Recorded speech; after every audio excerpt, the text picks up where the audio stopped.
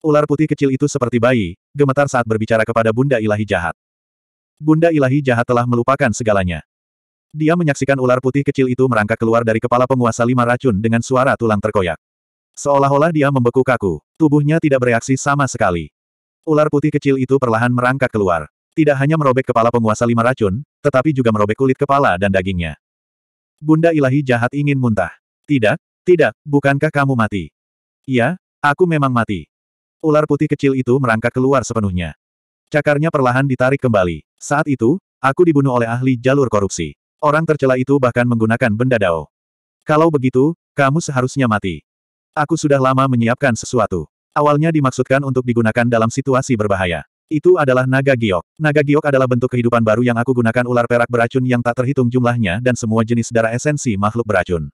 Di pada akhirnya, ular perak adalah tubuh utamanya. Ular itu berganti kulit dan berubah menjadi naga suci. Saya juga menggunakan teknik reinkarnasi naga suci untuk mengolah naga giok. Saya tidak menyangka itu akan sangat berguna.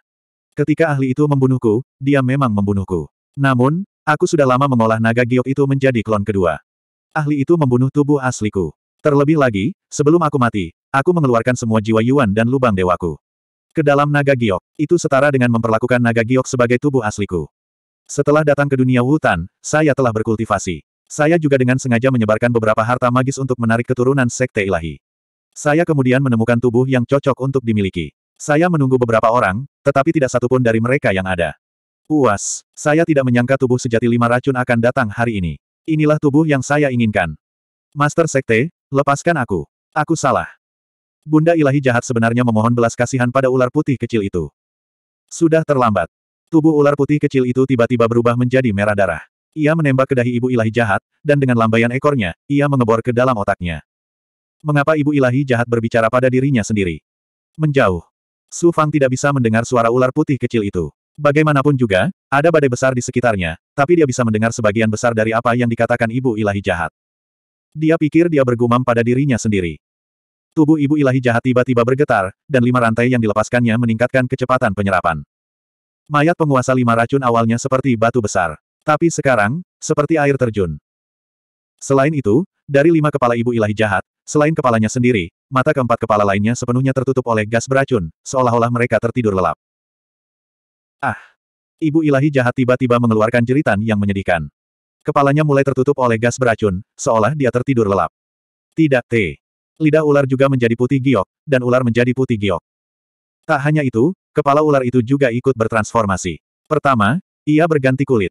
Saat kulitnya terkelupas, kepala ular juga mulai berubah. Setelah kulitnya benar-benar terkelupas, wajah seorang pria berusia 30-an menggantikan kepala ular itu. Penampilan pria itu persis sama dengan mayat penguasa lima racun. Dia adalah penguasa lima racun. Menyerap energiku sendiri cukup nyaman. Aku akan mengucapkan selamat tinggal pada masa lalu dan menyambut kehidupan baru. Penguasa lima racun membentuk segel tangan, dan empat kepala lainnya menghilang. Tubuhnya pun berubah dari perempuan menjadi laki-laki. Tingginya hampir 2 meter. Dia membuka mulutnya dan mengendalikan lima rantai untuk menyerap energinya sendiri. Bagaimana ibu ilahi jahat berubah? Akhirnya, Su Fang melihat penguasa lima racun berubah. Raksasa Yu Chengping juga berkata, Tuan, ini terlalu aneh. Aura ibu ilahi jahat masih ada, tapi mengapa ada aura penguasa lima racun yang sangat kuat yang berasal dari tubuh sejati lima racun? Apakah karena dia menyerap energi penguasa lima racun? Su Fang tidak mengerti. Dia benar-benar tidak mengerti. Mungkinkah ini adalah tubuh sejati lima racun dari ibu ilahi jahat? Tidak. Seribu meter jauhnya, pria yang menyerap mayat pemimpin sekte itu tiba-tiba berbalik, mengejutkan raksasa Yu Chengping. Itu bukan ibunda dewa jahat. Itu penguasa lima racun. Mustahil. Su Fang juga melihat pria itu berbalik. Saat melihat penampilannya, dia juga kaget. Dia menggelengkan kepalanya. Penguasa lima racun telah mati selama puluhan ribu tahun. Bagaimana dia bisa dihidupkan kembali? Penampilannya persis sama dengan mayat penguasa lima racun. Mungkin Bunda Ilahi jahat menyerap terlalu banyak energi dan untuk sementara berubah menjadi penguasa lima racun. Anda bahkan tidak mengetahui semua kemampuan tubuh sejati lima racun. Mungkin ini adalah salah satu dari kemampuan itu. Tidak, Tuan. Bawahan ini merasakan kehendak penguasa lima racun dari tubuhnya, bukan kehendak Ibu Ilahi jahat. Mereka berdua adalah penguasa lima racun, tetapi kemauan dan jiwa Yuan berbeda. Bawahan ini telah mengikuti penguasa lima racun selama bertahun-tahun. Saya dapat dengan jelas membedakan identitas penguasa lima racun. Tuan, sembunyikan dan persiapkan. Bagaimana jika itu benar-benar penguasa lima racun? Begitu dia bangkit kembali, kekuatannya bukanlah sesuatu yang Anda bisa membayangkan. Itu benar. Dia segera mengaktifkan pagoda enam jalan Suan Huang. Su Fang memasuki pagoda enam jalan Suan Huang. Pagoda enam jalan menyusut seukuran jari dan menyatu dengan pohon besar. Berdesir. Di sekitar reruntuhan hutan, aura mengejutkan tiba-tiba muncul dari penguasa lima racun. Dia melambaikan tangannya dan menatap dirinya sendiri. Mayat itu telah kehilangan aura ketuhanannya. Seolah-olah itu membusuk dan perlahan-lahan kehilangan kilaunya. Suara mendesing. Rantai itu juga kembali ke telapak tangannya. Pada saat ini, salah satu dari lima harta karun sejati, ular perak sepuluh ribu racun, mendesis ketika mendekati penguasa lima racun dan bersujud dengan hormat. Tampaknya ia menyadari bahwa inilah tuannya. Penguasa lima racun maju selangkah dan mendatangi mayat itu. Dia meraih kepala mayat itu dengan kedua tangannya. Dentang, dentang. Pada saat yang sama, tiba-tiba, beberapa sosok muncul dari belakang. Ternyata keempat monster dari lima harta karun sejati sedang mengejar kedua penguasa Panji. Tampaknya kemampuan kedua Banner Lord itu tidak sederhana. Mereka bisa melawan lima harta karun sejati sejauh ini. Di mana wanita itu? Banner Lord Parubaya bergegas mendekat dan menemukan bahwa ibu ilahi jahat telah menghilang. Hanya ada seorang pria dan mayat. Dia seharusnya dibunuh oleh orang ini. Lihat dia. Dia seharusnya menyerap dan merasuki mayat hierark. Hentikan dia. Orang tua itu menempuh jarak sepuluh kaki dengan satu langkah. Dengan langkah lain, dia mengubah lingkungan sekitar menjadi ruang citra ilahi. Dalam sekejap, dia akan mencapai penguasa lima racun. Banner Master lainnya melirik ke belakang. Empat monster harta karun besar mengejarnya. Dia juga mengeksekusi kemampuan ilahinya yang luar biasa. Dengan cepat, dia dan lelaki tua itu menyerang punggung Master Lima Racun pada saat yang bersamaan. Semua ini terjadi dalam sekejap mata. Tiba-tiba, ular perak sepuluh ribu racun dan lima harta karun sejati yang mengejar mereka berhenti. Mereka tidak mempunyai niat untuk melindungi penguasa lima racun. Bang!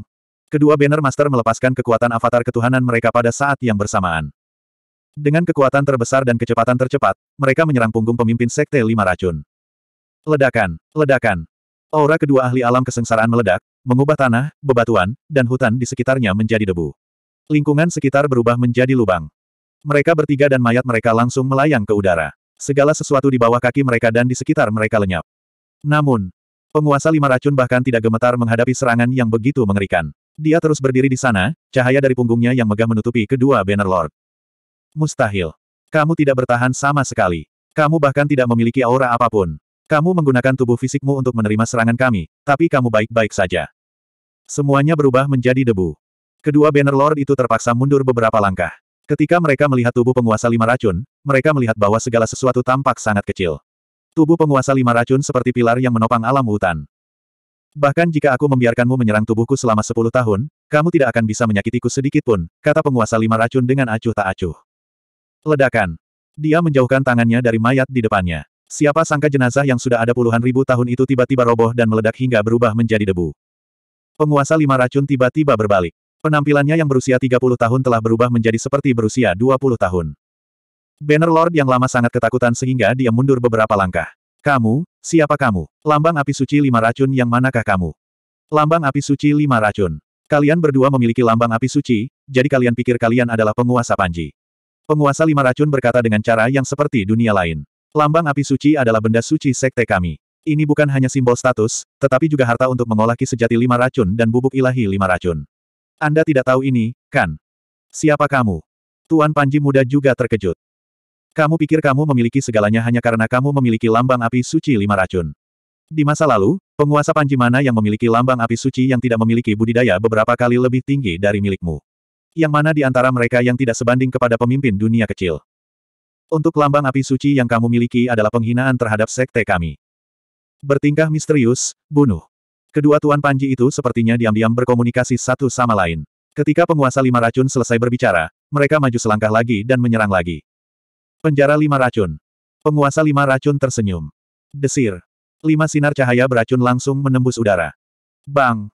Aura yang merobek udara menyebabkan kedua banner Lord gemetar dan memuntahkan darah. Serangan apa pun yang mereka gunakan akan hancur. Kedua banner master sudah dipenuhi rasa takut dan putus asa. Lambang api suci. Teriak penguasa lima racun. Dua lambang segera terbang keluar dari dua banner lord. Dia membelai mereka dan berkata, sudah puluhan ribu tahun. Perasaan ini sungguh nyaman, terlalu nyaman. Itu harta kami. Kedua penguasa Panji telah dipenjarakan oleh lambang api suci lima racun dan perlahan-lahan tersedot ke dalamnya. Meskipun mereka ditakdirkan untuk ditindas, mereka tidak melupakan lambang api suci lima racun. Milikmu. Namun, kata-kata ini membuat marah penguasa lima racun. Tatapannya menajam. Dengan suara gemuruh, kedua banner lord itu langsung berubah menjadi kabut darah dalam jumlah besar. Mereka langsung membunuh dua pembangkit tenaga listrik alam bencana. Kabut darah tersedot ke telapak tangan penguasa lima racun. Tampaknya kekuatannya meningkat sedikit. Dunia telah berubah. Bahkan aku tidak bisa mengenali lambang yang harus kupanggil. Mari kita lihat seberapa besar pemegang lambang api suci lainnya setelah puluhan ribu tahun. Suara mendesing. Penguasa lima racun melintas di udara dan menghilang bersama dengan lambang lima racun. Itu, itu benar-benar penguasa lima racun. Ruang Suan Huang. Su Fang hampir pingsan karena marah. Sangat dekat, sangat dekat.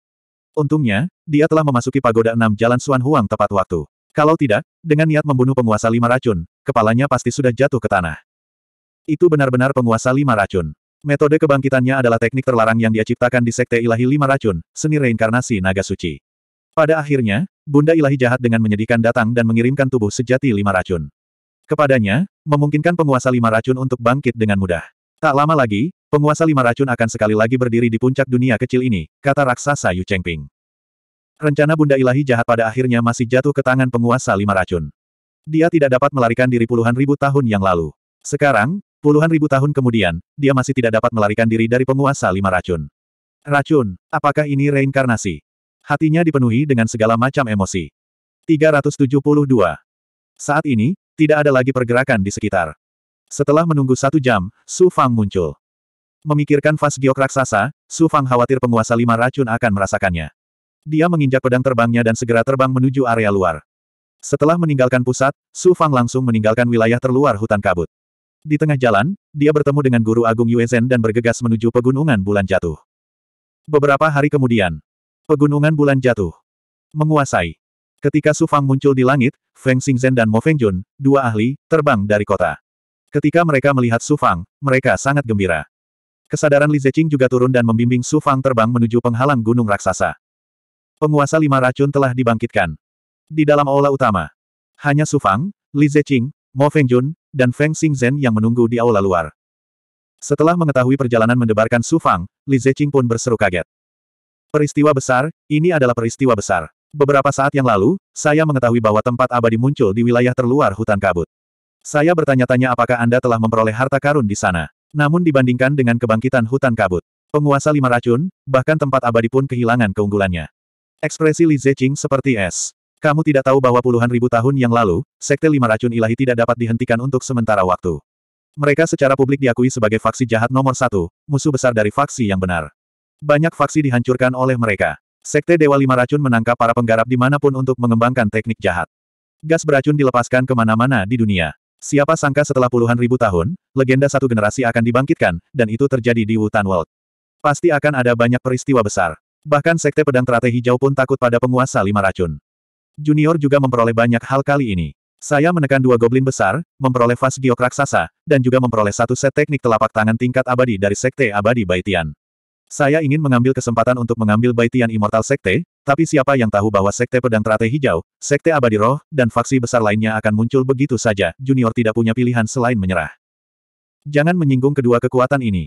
Di dunia hutan ini, mereka bisa membunuh sesuka mereka. Senang sekali kamu mendapatkan begitu banyak kali ini.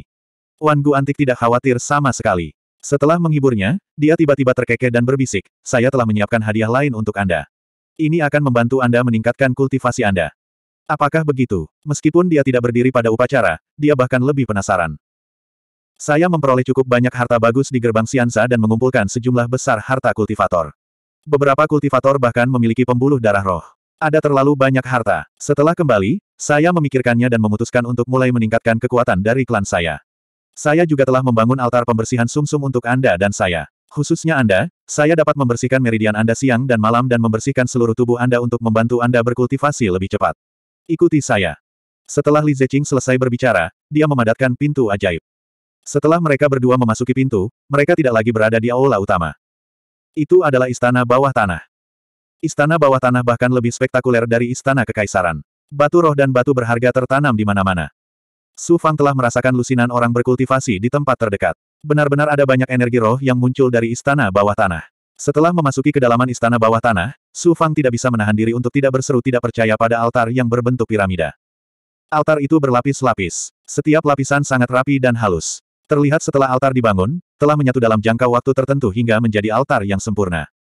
Terutama lapisan paling bawah. Itu jelas merupakan semangat tanpa cacat. Jika pembuluh darah roh digunakan untuk membuat bidang dao, hanya kekuatan besar yang mampu melakukannya. Untungnya, itu adalah Li Zeqing. Jika itu adalah pembangkit tenaga listrik alam kesengsaraan lainnya, mereka tidak akan mau mengeluarkan pembuluh darah roh. Pembuluh darah roh adalah harta yang hanya bisa ditemukan dan tidak dicari.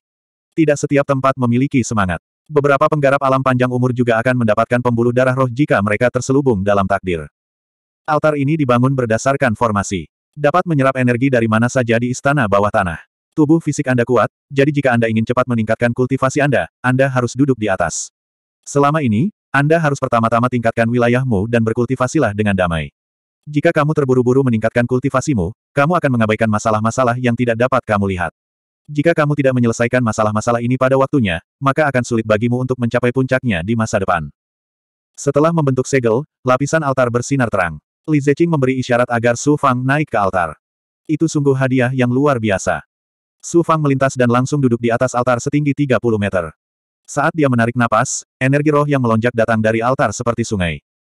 Itu terlalu menakutkan. Dengan kecepatan dan energi roh ini, jika Su Fang menyerap satu helai saja, dia akan meledak. Alangkah baiknya jika seorang kultivator biasa bisa bertahan selama dua jam. Itu memang metode yang hanya bisa diciptakan oleh pembangkit tenaga listrik kuno. Senior benar, saya perlu berkultivasi dengan damai untuk jangka waktu tertentu. Pada saat ini, Su Fang tidak segera menyerap energi roh dan menerima kekuatan pembersihan sumsum -sum dari altar. Sebaliknya, dia terlebih dahulu beradaptasi dengan energi roh yang sangat besar dan keinginan pembersihan sumsum. -sum. Kemudian, dia menenangkan diri dan mulai memeriksa tubuh fisiknya dengan cermat. Mungkin karena dia belum melihat tubuh fisiknya, Su Fang merasa agak asing. Meskipun dia belum mengolah meridian yang ketiga, dua meridian yang telah memungkinkan tubuh fisiknya memiliki ki sejati beberapa kali lebih banyak. Meridian yang ketiga sedang dalam proses menerobos. Ki sejati membentuk beberapa aura khusus di beberapa meridian. Misalnya saja emas dan perak. Misalnya saja nyala api yang membara. Misalnya saja es. Misalnya saja aura batu hitam. Aura luar biasa ini sepertinya secara bertahap menghalangi meridiannya. Jika dia tidak berhati-hati, mereka akan menetap di lebih banyak meridian, tulang, dan otot seiring waktu. Sebenarnya, setiap jenis kekuatan adalah sesuatu yang telah digabungkan dan diserap oleh Su Fang sebelumnya. Misalnya, nyala api yang menyala-nyala adalah sisa dari awan api ilusi setelah melahap berbagai jenis api spiritual. Emas dan perak diserap untuk memperbaiki pagoda enam Dao Xuan Huang. Batu berwarna tinta adalah esensi batu berwarna tinta khusus yang dia serap di gerbang Siansa. Di antara nyala api dan aura es, ada juga energi hati es dan hati api yang dia serap di gerbang Siansa. Ada juga energi di meridian lainnya. Ini adalah aura tingkat tinggi dari gerbang Siansa. Karena Sufang adalah manusia setengah telanjang, dia tidak dapat sepenuhnya menyatu dengan energi dunia tingkat tinggi. Energi yang murni yang berasal dari budidaya ganda yin dan yang tidak dapat sepenuhnya menyerap dan melarutkan energi besar dunia. Oleh karena itu, ada banyak tempat yang tidak mencolok di tubuhnya yang seperti kolam. Lama-kelamaan akan selalu ada sedimen. Jika dia berani melahap energi tingkat tinggi secara sembarangan saat berada di alam kematian, hanya akan ada satu hasil. Pada akhirnya, dia tidak akan mampu sepenuhnya melarutkan energi tingkat tinggi, dan itu akan menghalangi tubuh fisiknya untuk waktu yang lama. Ki sejati dari dunia fana tidak akan mampu menembus dan menyempurnakannya. Pada akhirnya, tubuh fisiknya akan tersegel, dan dia tidak akan bisa mengedarkan energi lagi. Tentu saja, Su Fang mungkin tidak akan berakhir seperti ini, tetapi di masa depan, jika terlalu banyak energi yang hilang, itu akan berdampak besar pada kultivasinya. Pada saat itu, dia akan mulai membubarkannya, dan itu akan menjadi sangat serius. Terlepas dari masalah-masalah ini, semua hal lain pada tubuh fisiknya normal. Pertama, menerobos tubuh fisik. Melalui pembersihan sumsum -sum berulang kali, saya akan menyerap energi tingkat tinggi yang berbeda. Kemudian, saya akan menggunakan energi yang murni dan kekuatan asal nirwana yang misterius di tubuh saya untuk memurnikan dan menggabungkan keduanya. Sebenarnya, semua aura sedimen ini adalah esensi energi tingkat tinggi. Pikirannya kembali. Su Fang fokus dan melepaskan tubuh fisiknya sepenuhnya hingga sempurna. Selaput daging. Suara mendesis terdengar saat terbakar. Tubuh fisik seorang kultivator akan memiliki selaput daging dalam jumlah besar. Itu menyatu dengan tubuh oleh Truki untuk melindungi tubuh. Selaput daging ini seperti lapisan jaring laba-laba, menjalin tulang, meridian, daging, dan darah. Akhirnya, ketika selaput darah mencapai tingkat tertentu, itu akan membentuk armor ilahi janin daging. Kekuatan kesempurnaan diaktifkan, dan tubuh fisik diregangkan. Pendengaran, penglihatan, dan penciumannya mencapai puncaknya. Darah dan ki sejati mengalir di tubuh fisik yang tidak tersegel, terus-menerus mengalir liar. Kekuatan hidup menggelegak dan membara. Pada saat ini, Su Fang merasa tubuh fisiknya terus membesar dan menyatu dengan alam. Di bawah selaput daging yang terbakar, armor ilahi janin daging menghilang lapis demi lapis. Su Fang menggunakan tubuh fisiknya untuk merasakan kekuatan langit dan bumi, bersiap menerima pembersihan sumsum -sum altar. Pada tingkat tertentu, Su Fang merasa dirinya telah menyatu sempurna dengan aura alam. Aliran aura alam adalah nafas tubuhnya. Penyerapan siklus peredaran darah kecil. Dari telapak kaki hingga telapak tangan, dan terakhir hingga puncak kepala. Meridian, dantian, bukaan dewa, dan daging yang tak terhitung jumlahnya menyatu, menyebabkan tubuh fisiknya mencapai kesempurnaan seolah ingin menyerap alam ke dalam tubuhnya. Dia langsung menyerap kekuatan pembersihan sumsum -sum altar. Us. Energi spiritual altar spiritual melonjak, langsung memasuki tubuhnya dari setiap pori dan kelenjar keringat. Tubuh fisiknya seperti spons manusia, menyerap energi spiritual altar spiritual dengan kecepatan ini. Saat ini, Su Fang dapat dengan jelas merasakan kekuatan pembersihan sumsum. -sum. Tubuh fisiknya seperti sungai, dan badai tak terlihat menyapu sungai dalam sekejap. Aliran sungai mulai menimbulkan gelombang, menciptakan gelombang yang menakjubkan. Kekuatan pembersihan sumsum -sum menyapu seluruh tubuh fisiknya seperti badai. Su Fang tidak melakukan apa pun. Saat dia membuka tubuh fisiknya menuju kesempurnaan, kekuatan pembersihan sumsum -sum mendorong energi spiritualnya, mengedarkannya dari kaki hingga kepalanya, dari dalam keluar, dari dantian ke meridian, dari daging ke lubang dewa. Secara otomatis mulai beredar secara keseluruhan. Banyak aura tingkat tinggi di meridian, daging, dan darahnya mulai tersapu oleh kekuatan pembersihan sumsum. Mungkin perlu beberapa saat agar semua aura tingkat tinggi dibersihkan sepenuhnya dari meridian, daging, dan darahnya. Tidak mudah bagi Li Zeqing untuk membuat altar ini. Dia menerima hadiah besar ini, dan dia akan membalas budi ini di masa depan. Melihat altar dari luar, Su Fang, yang sedang duduk bersila di atas altar, sepertinya berulang kali tersapu badai, membungkusnya di tengah. Terlihat jelas juga bahwa kulit Su Fang memiliki banyak kotoran yang merembes keluar. Lebih-lebih lagi, tubuh fisiknya tidak memiliki kulit. Karena kulitnya telah terkoyak oleh energi spiritual dari pembersihan sumsum, -sum, kini ia berlumuran darah. Melihat daging, meridian, dan selaput dagingnya, dipenuhi gelembung energi kehidupan. Gelembung-gelembung ini sepertinya mampu menghasilkan energi kehidupan yang tak ada habisnya. Tubuh fisiknya sungguh luar biasa. Di istana bawah tanah, ada penghalang yang memisahkan mereka dari altar. Li Zeqing, yang sedang berkultivasi di istana bawah tanah, melihat menembus penghalang dan seluruh istana bawah tanah. Dia dikejutkan oleh Su Fang, yang telah berubah menjadi tubuh dari daging dan darah. Barang antik yang telah hidup lebih dari 10.000 tahun pasti telah melihat banyak hal. Tapi dia belum pernah melihat tubuh seperti itu sebelumnya. Apakah itu manusia? Kekuatan pembersihan sumsum -sum dari altar yang saya buat cukup untuk mengobrak-abrik penggarap abadi atau penggarap yang tidak dapat dihancurkan. Bahkan sebagian besar penggarap jiwa yang tidak dapat menahannya, kecuali mereka memiliki tubuh fisik yang luar biasa. Dia menahannya, dia juga bisa mengendalikannya dengan mudah. Dia menatapnya sebentar, semuanya sesuai ekspektasinya, tapi sekarang dia melihatnya dengan matanya sendiri, dia masih tidak bisa mempercayainya. Kotoran di tubuhnya sangat mengejutkan. Bahkan penggarap jiwa yang tidak memiliki kotoran yang begitu mengejutkan. Energi macam apa yang dia serap untuk menghasilkan begitu banyak kotoran? Mungkinkah karena dia menyerap terlalu banyak energi tingkat tinggi di Siansa Gerbang? Lupakan saja. Berkat dia, aku, Li Zeqing, bisa hidup kembali. Di masa depan, apakah aku berhasil atau tidak, tidak buruk meninggalkan seseorang untuk menjaga generasi mendatang. Li Zeqing menutup matanya sekali lagi dan mulai berkultivasi. Dia juga sedang dalam proses pemulihan setiap saat. Saya harus bertahan. Ketika tubuh fisik saya terbiasa dengan kekuatan pembersihan sumsum -sum altar, saya dapat menggunakan seni jari 100 titik akupuntur untuk memandu dan mengontrol kekuatan pembersihan sumsum -sum untuk menyerang meridian yang ketiga dan seluruh tubuh. Menunggu.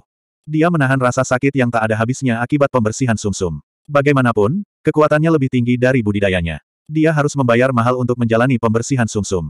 373. Altar ini diciptakan oleh Li Zeqing di puncak alam bencana. Jika seseorang bukan seorang penggarap alam bencana, mereka tidak akan mampu menahan kekuatan ini. Su Fang menghadapi baptisan dengan tubuhnya yang abadi. Menghadapi serangan balik energi spiritual, dia merasa seperti dipotong-potong setiap saat. Di lautan kepahitan, dia memikirkan penghinaan yang dibawa Pangeran Sue kepadanya. Apakah lautan kepahitan itu? Dengan satu nafas, dia bisa mengubah dunia. Jika saya menginginkannya, maka dunia harus memilikinya.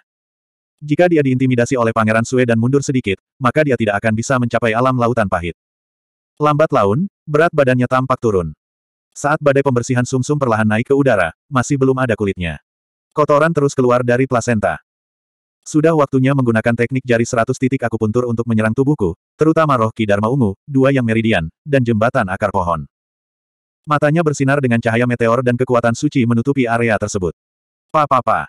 Tangannya menepuk tubuhnya lagi dan lagi. Dalam sekejap, seluruh altar sepertinya terhalang oleh dinding yang tak terlihat. Su Fang dan kekuatan pembersihan sumsum -sum tampak diam bersama. Karena teknik jari seratus titik akupuntur menyegel banyak meridian di tubuhnya, mencegah aliran energi, dan kekuatan pembersihan sumsum -sum meluas di meridian dan dagingnya, menyebabkan keseluruhan kekuatan pembersihan sumsum -sum diblokir. Ketika dia merasa tubuhnya akan meledak, dia membuka titik akupuntur yang tak terhitung jumlahnya di tubuhnya. Ledakan. Kekuatan pembersihan sumsum yang tersegel dan kokoh itu seperti tangan pendorong yang tak terlihat, tanpa ampun mendorong tubuh Su Fang. Pada saat ini, Su Fang kehilangan akal sehatnya dengan tubuhnya. Kresek-kresek-kresek. Kemudian dampaknya menyebabkan tubuhnya meledak. Dia mulai jatuh sedikit demi sedikit. Setelah kehilangan akal sehatnya, dia merasa kepalanya berat dan kakinya ringan. Ketika dia melihat lagi, tubuhnya berdarah. Kotoran pada plasenta adalah darah kotor yang mengalir keluar.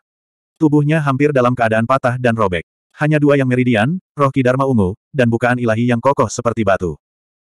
Setelah menyerap kekuatan pembersihan sumsum, dia mengkonsumsi sejumlah besar pil elemental murni bermutu tinggi, pil pembersih sumsum, berbagai ramuan spiritual, dan sebagian buah abadi. Sumber daya apa pun tidak dapat diperoleh oleh seorang penggarap abadi. Bagi ahli alam jiwa yang, itu adalah sebuah kemewahan. Tetapi sumber daya yang diimpikan semua orang ini semuanya ditelan oleh Sufang. Untuk mengejar kekuasaan dan kekuatan, sumber daya apa pun akan dikonsumsi. Tidak ada kengganan untuk berpisah dengannya. Kekuatan asal nirwana, dia menelan segala macam sumber daya dan meledak dengan energi berbeda. Pertama, dia mendesak kekuatan sembilan matahari untuk menyatu. Namun, Su Fang memahami bahwa banyak dari energi ini telah melewati titik di mana tubuhnya dapat memurnikannya sepenuhnya. Beberapa di antaranya tidak dapat dicairkan dan akan menetap di tubuhnya. Untuk menyempurnakan fusi, pertama-tama dia menyerap kekuatan sembilan yin dan kekuatan sembilan yang dari alam suci kekacauan primordial, memungkinkan tubuhnya mencapai kondisi kultivasi ganda. Dia kemudian mulai menyerap segala jenis energi.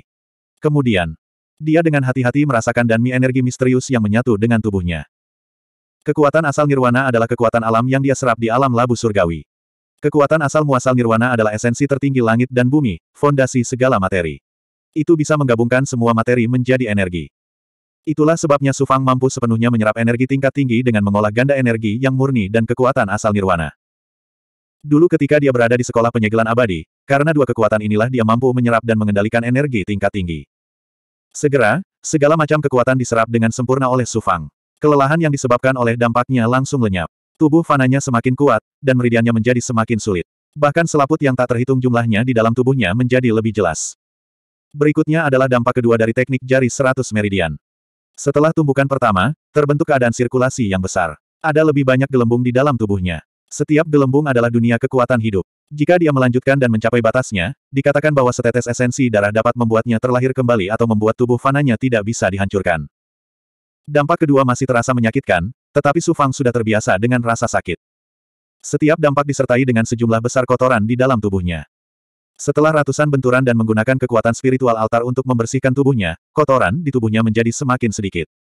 Su Fang sekali lagi merasakan meridian yang tak terhitung jumlahnya. Tidak ada lagi energi yang tersisa. Semuanya terintegrasi dan disempurnakan saat dia menghitungnya. Sekarang, setiap pembuluh darah sangat kokoh dan terhubung dengan meridian untuk menciptakan tubuh alam sempurna yang paling kokoh. Semakin sedikit kotoran di tubuhku, semakin berarti tubuh dan alam fanaku telah mencapai batasnya. Selanjutnya, tahap ketujuh yang abadi dan kemudian tahap kedelapan yang abadi. Setelah menenangkan diri, meski masih terasa menyakitkan ketika kekuatan spiritual agung mengalir ke dalam tubuhnya, tubuh fana telah mencapai ketinggian baru dibandingkan sebelumnya. Dalam sekejap, dia mengaktifkan semua energi di tubuhnya dan melepaskan segel di lubang ilahi dan dantiannya. Terutama ketika roh Dharma ungu dan energi tersegel dari dua meridian yang telah sepenuhnya melampaui tubuh fananya. Merasakan lapisan ki kesengsaraan merembes keluar, Su Fang mengerutkan kening. Dalam sekejap, dia menggunakan teknik jari seratus meridian untuk menyegel energi agung di tubuhnya. Menggunakan kekuatan altar untuk membersihkan tubuhnya, dia membuka segelnya dalam sekejap. Peng peng peng. Kekuatan ledakan meningkat satu demi satu. Seperti kekuatan membersihkan sumsumnya, kekuatan itu menyapu seluruh tubuhnya. Kemudian, gelombang energi meledak, berubah menjadi tahap ke-8. Setelah itu, hanya ada sedikit kotoran di tubuhnya. Beberapa kabut darah merembes keluar. Tahap ke-8 yang abadi. Su Fang mengukur energi tahap ke-8, tetapi dia tidak senang sama sekali. Karena tahap ke-8 kematian masih ribuan mil jauhnya dari alam bencana. Bagaimana dia bisa menantang Pangeran Sue di dunia ini? Dia masih harus menerobos dan menerima kekuatan membersihkan sumsumnya. Menguasai. Mungkin kengganan dan kegigihan Su Fang yang tidak hanya keluar dari tubuhnya, tetapi juga ke dalam harta sihirnya. Di ruang kuning yang mendalam. Guru Agung Yuezhen, yang sedang berkultivasi, tiba-tiba berkata, mustahil untuk melangkah dari alam kematian ke alam bencana dalam 10 tahun. Namun, bawahan ini pernah melihat di gerbang Xianza bahwa ada orang yang menggunakan buah abadi, pil khusus, dan benda spiritual untuk membelah hati dan tubuh mereka. Dengan menggunakan pisau, mereka membelah benda spiritual di tubuh mereka. Itu akan membawa kekuatan yang lebih tak terduga daripada memurnikan benda spiritual. Apa itu mungkin? Tanpa diduga, Guru Agung Yuezhen punya cara. Su Fang tergerak. Beberapa orang mengandalkan metode ini untuk hidup selama lebih dari 10.000 tahun di gerbang Siansa, tetapi pada akhirnya, benda spiritual mereka habis dan mereka tetap mati. Guru Agung Yuezhen berkata, karena para penggarap alam fana dipenjarakan di gerbang Siansa, mereka tidak dapat menyerap energi hukum tingkat tinggi. Mereka hanya dapat mengandalkan pernafasan sendiri untuk mengonsumsi energi. Setelah energi para penggarap habis, hanya pil dan benda spiritual yang tersisa untuk mempertahankan hidup mereka. Sebagian besar pembudidaya yang terperangkap adalah ahli yang tiada taranya. Beberapa dari mereka, untuk menghemat sumber daya, tidak mengkonsumsinya. Sebaliknya, mereka menggunakan pisau untuk membelah tubuh mereka dan menanamkan pil asal murni atau beberapa benda spiritual alami. Bawahan ini telah melihatnya secara pribadi dan itu mungkin. Namun, ada harga yang harus dibayar. Beberapa benda spiritual tidak dapat sepenuhnya menyatu dengan energi dan menetap di dalam tubuh, menghalangi Golden Inti dan Meridian. Setelah mengatakan ini, jelas bahwa Yang Mulia Guru Yuezhen sudah mengetahui bahwa Su Fang memiliki tubuh fisik yang sempurna dan dapat menyempurnakan kekuatan tingkat tinggi dari dunia besar. Oleh karena itu, ia mengusulkan metode ini. Jika Su Fang hanyalah seorang kultivator biasa, dia tidak akan berani melamarnya. Bagi sebagian besar petani, cara ini hanyalah perjuangan yang sia-sia. Itu hanyalah metode bunuh diri yang lambat untuk memperpanjang hidup seseorang dalam keputusasaan. Ada banyak keajaiban di dunia ini, dan semuanya terjadi dalam kesulitan. Setengah dupa nanti. Su Fang akhirnya memiliki pandangan yang jernih dan tenang. Dia mengambil sejumlah besar sumber daya untuk dibudidayakan oleh komandan muda, pelayan, dan Bailing, dan kemudian mengeluarkan buah abadi. Pada saat ini, Guru Agung Yuezhen berhenti berkultivasi, seolah-olah dia belum pernah mengalami momen ini. Di depan Su Fang, dia tidak memiliki pikiran yang mengganggu. Guru, metode ini hanya muncul di gerbang Siansa. Bawahan ini telah berkultivasi di alam Zuotian dan dunia kecil lainnya selama bertahun-tahun yang tak terhitung jumlahnya, tetapi saya belum pernah melihat kultivasi semacam ini metode jika Anda berhasil, Guru, Anda akan membuka jalan yang menantang surga. Berhasil atau tidaknya saya tergantung apakah saya berani mencoba dan tidak buta. Saya memiliki kepercayaan diri dan pemahaman pada diri sendiri, sehingga saya berani mencoba dan menantangnya. Dia mengeluarkan pisau alat ajaib kelas menengah dari tas kosongnya. Setelah berpikir beberapa saat, akhirnya dia menggunakan pisau tersebut untuk memotong luka di telapak tangan kanannya. Darah mengalir keluar, dan dia dengan cepat memasukkan sepotong kecil buah abadi ke dalam lukanya. Itu hanya sepotong buah yang sangat kecil. Pada saat yang sama, ia mendorong kemampuan fisiknya untuk mengendalikan telapak tangan kanannya dengan paksa, menyatukan kulit dan dagingnya, dan meremas potongan buah ke dalam dagingnya. Prosesnya sangat menyakitkan hingga dia berkeringat. Dia mengerahkan seluruh kekuatan di tubuhnya dan mulai menyerap potongan buah tersebut. Benar saja, potongan buah abadi itu perlahan dihancurkan oleh daging yang diperas, dan menyatu dengan otot, pembuluh darah, dan meridiannya. Perasaan sejuk menyapu dari telapak tangan kanannya ke lengan kanannya, dan kemudian ada beberapa kotoran di permukaan tangan kanannya.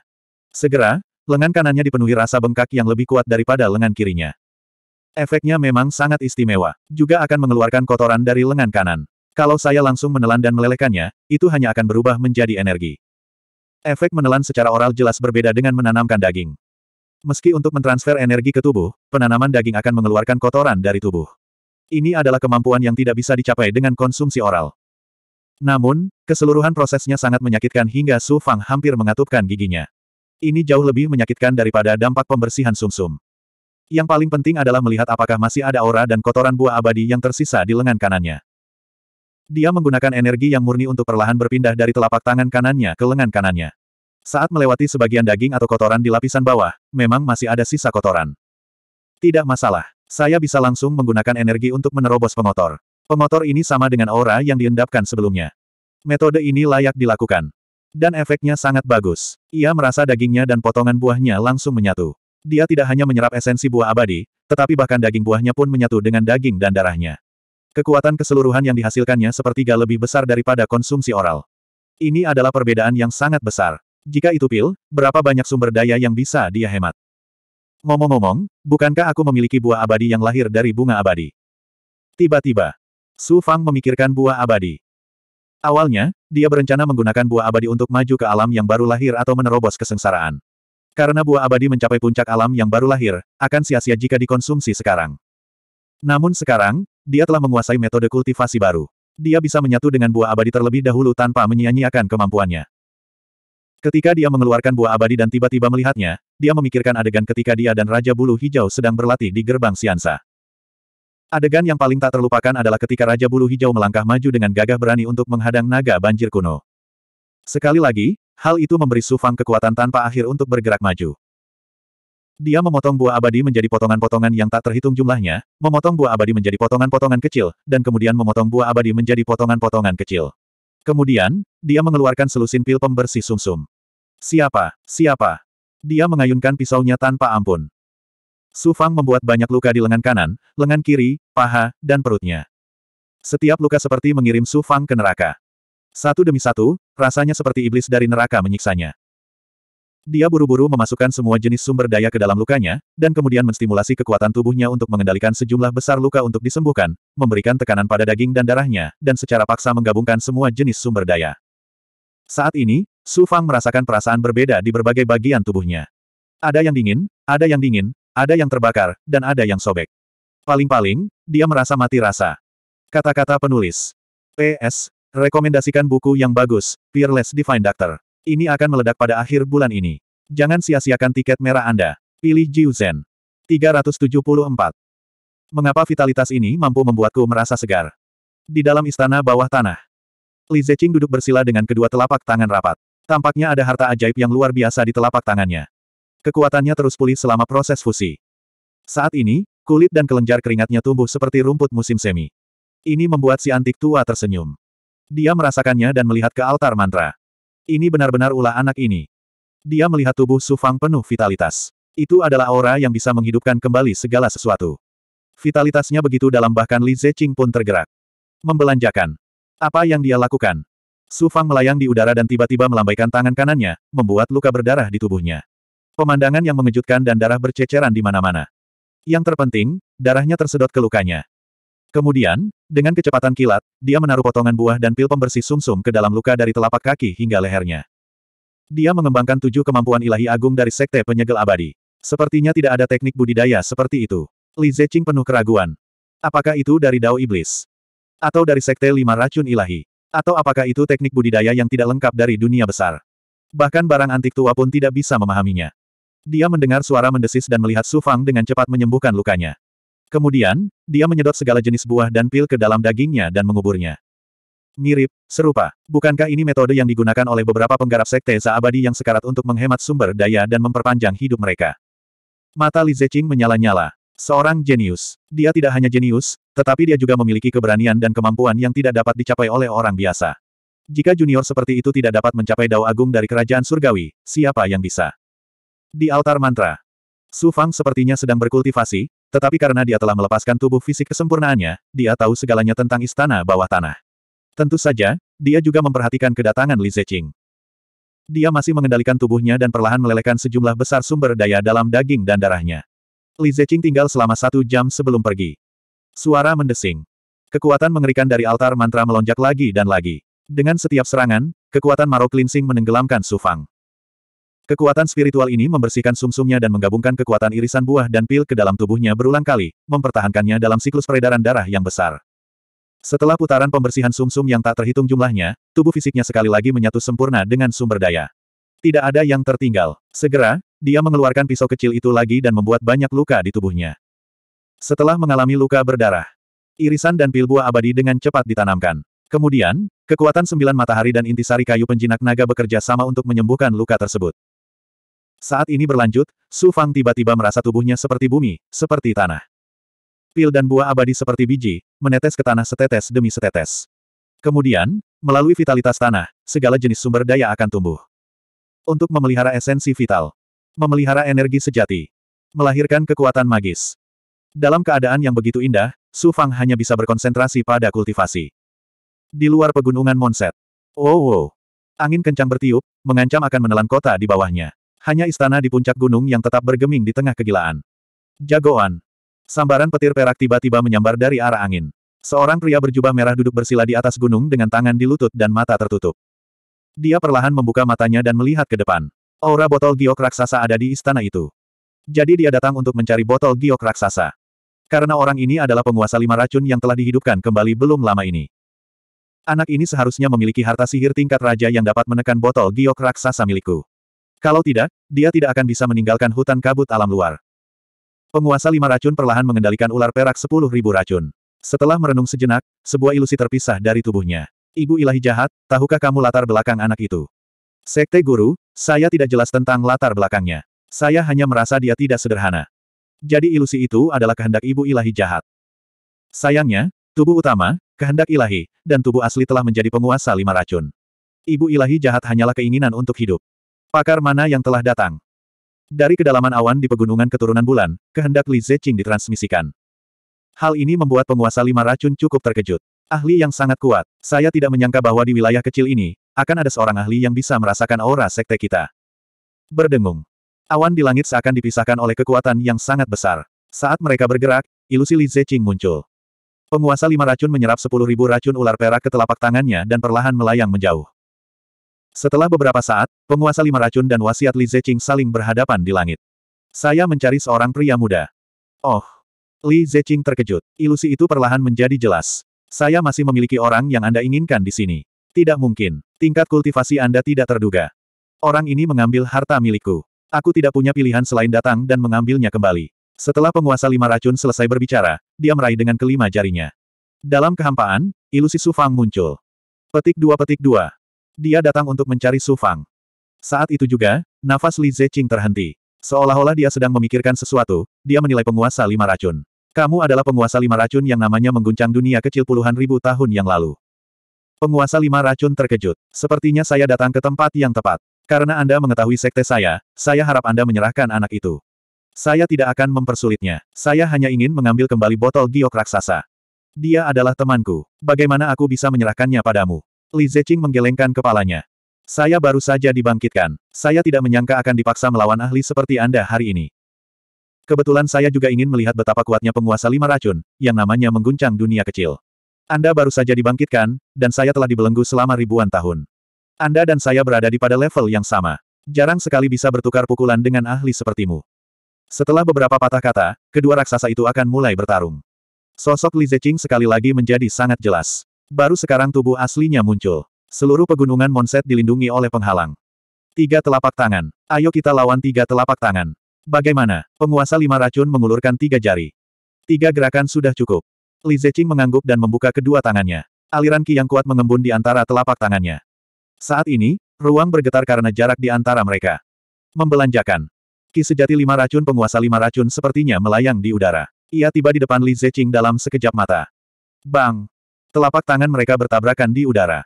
Astral Ki meledak, menyebabkan ruangan bergetar hebat. Ledakan yang memekakan telinga datang dari langit. Tak satu pun dari kedua ahli itu mundur satu langkah pun. Asal telapak tangan kosong. Li Zeqing mengirimkan serangan telapak tangan lagi. Kemarahan kala jengking raksasa. Penguasa lima racun juga mengirimkan serangan telapak tangan. Dengan baik, Kedua tabrakan tersebut mengguncang dunia. Aura kedua raksasa itu seperti pedang tajam yang tak terhitung jumlahnya menusuk ke tanah, menyebabkan pegunungan Monset berguncang. Ah! Tabrakan itu memaksa Li Zeqing mundur selangkah. Jubahnya bergemerisik. Tapi penguasa lima racun tidak bergerak sama sekali. Melihat Li Zeqing mundur, dia masih memiliki senyuman tenang di wajahnya. Bang! Sebelum Li Zeqing bisa mengatur napasnya, penguasa lima racun mengirimkan serangan telapak tangan lagi. Ledakan.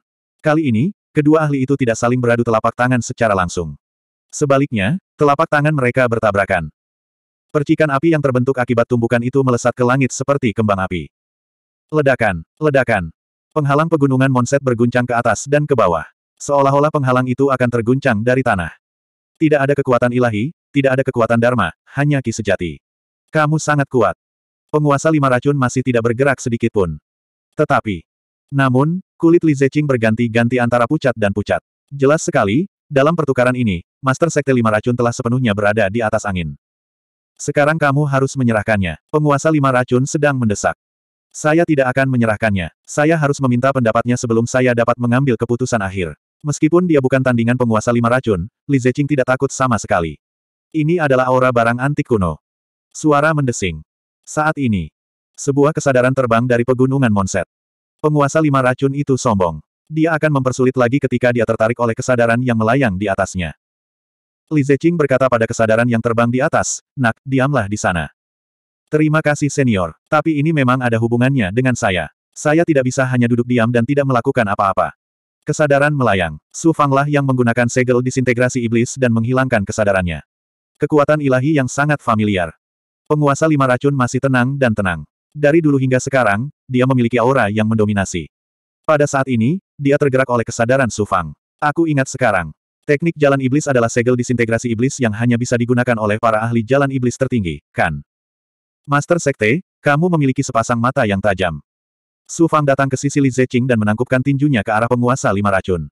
Itu adalah segel disintegrasi iblis dari jalan iblis. Aku mendapatkannya secara tidak sengaja dan mendapatkan beberapa prestasi setelah mengolahnya. Jangan membicarakan hal-hal yang tidak penting ini. Master Sekte, kamu datang untuk mengambil vas giok raksasa untukku. Bagus kalau kamu tahu. Simpan banyak omong kosong. Penguasa lima racun memujinya. Aku mendapatkan raksasa jade fase secara tidak sengaja di hutan berkabut alam luar dan menyatu dengannya secara tidak sengaja. Sekarang vas itu telah menyatu denganku. Jika aku memberikannya kepadamu, itu sama dengan melucuti daging dan darahku. Fase giok raksasa adalah harta paling berharga dari sekte kami. Tidak bisa jatuh ke tangan orang luar. Dia tidak menyangka Su Fang begitu mendominasi dalam kata-katanya. Penguasa lima racun juga sama. Tidak ada pihak yang menyerah. Master Sekte, Anda dan saya dapat memikirkan cara untuk menyelesaikan masalah ini. Su Fang berbicara lagi. Seseorang pernah menginjak kepalaku dan merampas harta sihirku. Aku bersumpah bahwa aku hanya akan mengalami penghinaan seperti itu sekali dalam hidupku. Aku harap kamu tidak memaksaku. Pikirkan cara untuk menyelesaikan masalah ini tanpa berkelahi. Dan membunuh. Penguasa lima racun bergumam dan tersenyum. Ini menarik. Tidak ada yang bisa bernegosiasi di depan kita, bahkan makhluk abadi pun tidak. Saya harap Anda bisa tenang dan menyelesaikan masalah ini. Li Zeqing juga berbicara. Ia pun mengutarakan posisinya, yaitu maju dan mundur bersama Su Fang. Bahkan jika itu adalah penguasa lima racun, dia juga akan menghadapinya bersama Su Fang. Penguasa lima racun tidak punya pilihan selain bersikap dingin kali ini. Su Fang dan Li Zeqing di depannya memberinya aura yang mengesankan, dan dia tidak mau mundur selangkah pun. Mereka bisa bertarung, dan mereka bisa bertarung. Secara alami, mereka bisa hidup berdampingan dengan damai. Saya telah mengatakan sebelumnya bahwa harta sekte tidak boleh jatuh ke tangan orang luar, kecuali Anda adalah anggota dari lima sekte racun. Penguasa lima racun mundur selangkah. Apakah begitu? Li Zeqing menatap Su Fang dalam-dalam. Yang terakhir juga memahami arti mendalam dari tampilan ini. Di depan kedua raksasa itu, Su Fang berpikir beberapa detik dan segera memberikan jawaban. Master Sekte, Anda baru saja mengambil alih tubuh asli lima racun dan dibangkitkan, dan Sekte lima racun telah lama menjadi air yang mengalir dan tidak ada lagi di dunia. Saya bersedia membantu Anda membangun kembali Sekte lima racun dengan segenap kekuatanku. Bagaimana dengan itu? Tentu saja, saya juga berharap ahli di samping saya juga dapat membantu saya membangun kembali kekuatan sekte saya. Orang pintar tidak bosan berbicara. Penguasa lima racun tersenyum dan memandang Li Zeqing. Pada saat ini, Li Zeqing tiba-tiba terlihat sadar. Master Sekte, Anda sudah membuat rencana sebelum datang ke sini. Baiklah, saya tidak melakukan apa-apa dan baru saja mendapatkan kembali kebebasan saya dari gerbang Siansa. Saya sangat bosan sehingga saya dapat membantu Anda. 375. Mudah. Penguasa lima racun bertepuk tangan pada mereka berdua. Sekte saya tidak bisa menyaksikan lima sekte racun menghilang dalam sungai sejarah. Karena dapat terlahir kembali, saya harus membiarkan Sekte Lima Racun muncul kembali di mata dunia. Setelah berbicara, dia menatap Su Fang lagi. Saya tidak menginginkan botol giok raksasa, tetapi ada lima manusia racun di dalamnya. Sekte saya akan menggunakannya untuk mengasuh murid di masa depan. Anda harus memberi saya lima manusia racun. Manusia racun tidak banyak berguna bagiku. Dengan membalikkan tangannya, telapak tangannya berkedip dengan cahaya beracun. Us! Lima manusia racun yang masih duduk bersila tiba-tiba muncul di udara. Dalam sekejap mata, saat manusia lima racun muncul, mereka tersedot ke dalam telapak tangan penguasa lima racun. Li Zeqing segera mengundang penguasa lima racun untuk memasuki pegunungan bulan terbenam. Di dalam istana, banyak penggarap keluarga Li berkumpul dengan panik. Karena pertarungan antara kedua ahli tersebut, aura yang dihasilkan telah mempengaruhi seluruh pegunungan, seolah-olah langit dan bumi akan runtuh. Hanya ketika mereka bertiga terbang ke istana barulah semua orang menjadi tenang dan meninggalkan istana. Master Sekte, silakan duduk. Li Zeqing tidak mengikuti upacara. Setelah meminta para pelayan menyajikan teh, kedua pemimpin itu meminum teh sambil mengobrol. Adapun keinginan Su Fang, dia duduk di sisi lain dan tidak kembali ke tubuh utamanya untuk saat ini. Kamu telah berkultivasi selama sepuluh ribu tahun. Memiliki kekuatan seperti itu sudah sangat bagus. Setelah mengobrol sebentar, kedua belah pihak menjadi lebih akrab satu sama lain. Ternyata penguasa lima racun tidak seperti yang mereka bayangkan. Dia bukanlah buaya raksasa dari jalan jahat yang membuka mulutnya untuk memakan orang dan membunuh banyak orang. Jika dia tidak menggunakan gas dan aura beracunnya, dia hanyalah seorang kultivator biasa. Setelah mengetahui bagaimana Li Zeqing dan Su Fang bertemu, terutama mengetahui bahwa Li Zeqing adalah seorang kultivator lepas, dia tidak bisa tidak memujinya. Mampu mengandalkan dirinya sendiri untuk mencapai kultivasi seperti itu sungguh mengejutkan. Setelah mengobrol sebentar dengan Su Fang, penguasa lima racun tiba-tiba mengangkat tangannya. Kenapa aku belum pernah mendengar tentang sekte penyegel surgawi? Li Zeqing melihat ke atas, itu adalah sekte yang lahir di alam Zuotian kurang dari 20 ribu tahun yang lalu. Perkembangan sekte ini sangat menakutkan, dan sudah menjadi sekte lurus kelas 1 di alam Zuotian. Su Fang, bocah nakal, kamu cukup berkarakter. Mengapa kamu harus berkompromi dengan sekolah penyegel surgawi? Kamu tidak perlu menjadi murid, cukup pelindung Dharma nominal. Itu jauh lebih baik daripada berkultivasi di dalam sekolah penyegelan surgawi. Senior, ada alasan kenapa aku melakukan ini. Ada harta karun milikku, dan itu ada di tangan salah satu pemimpin rumah penyegelan abadi. Aku harus menaiki tangga selangkah demi selangkah sampai aku bisa mengambilnya kembali. Setelah itu, aku bisa melakukan apa pun yang kuinginkan. Botol giok raksasa adalah harta karun yang bagus. Itu dapat menyimpan sejumlah besar bahan dan memenjarakan para pembudidaya. Bahkan orang sepertiku hanya bisa ditekan setelah terperangkap di dalam botol giok raksasa. Hanya dengan menggunakan harta sihir yang lebih kuat untuk memecahkan botol dari dalam kita dapat melarikan diri dengan nyawa kita. Saat mereka terus mengobrol, penghalang di antara mereka bertiga dengan cepat menghilang.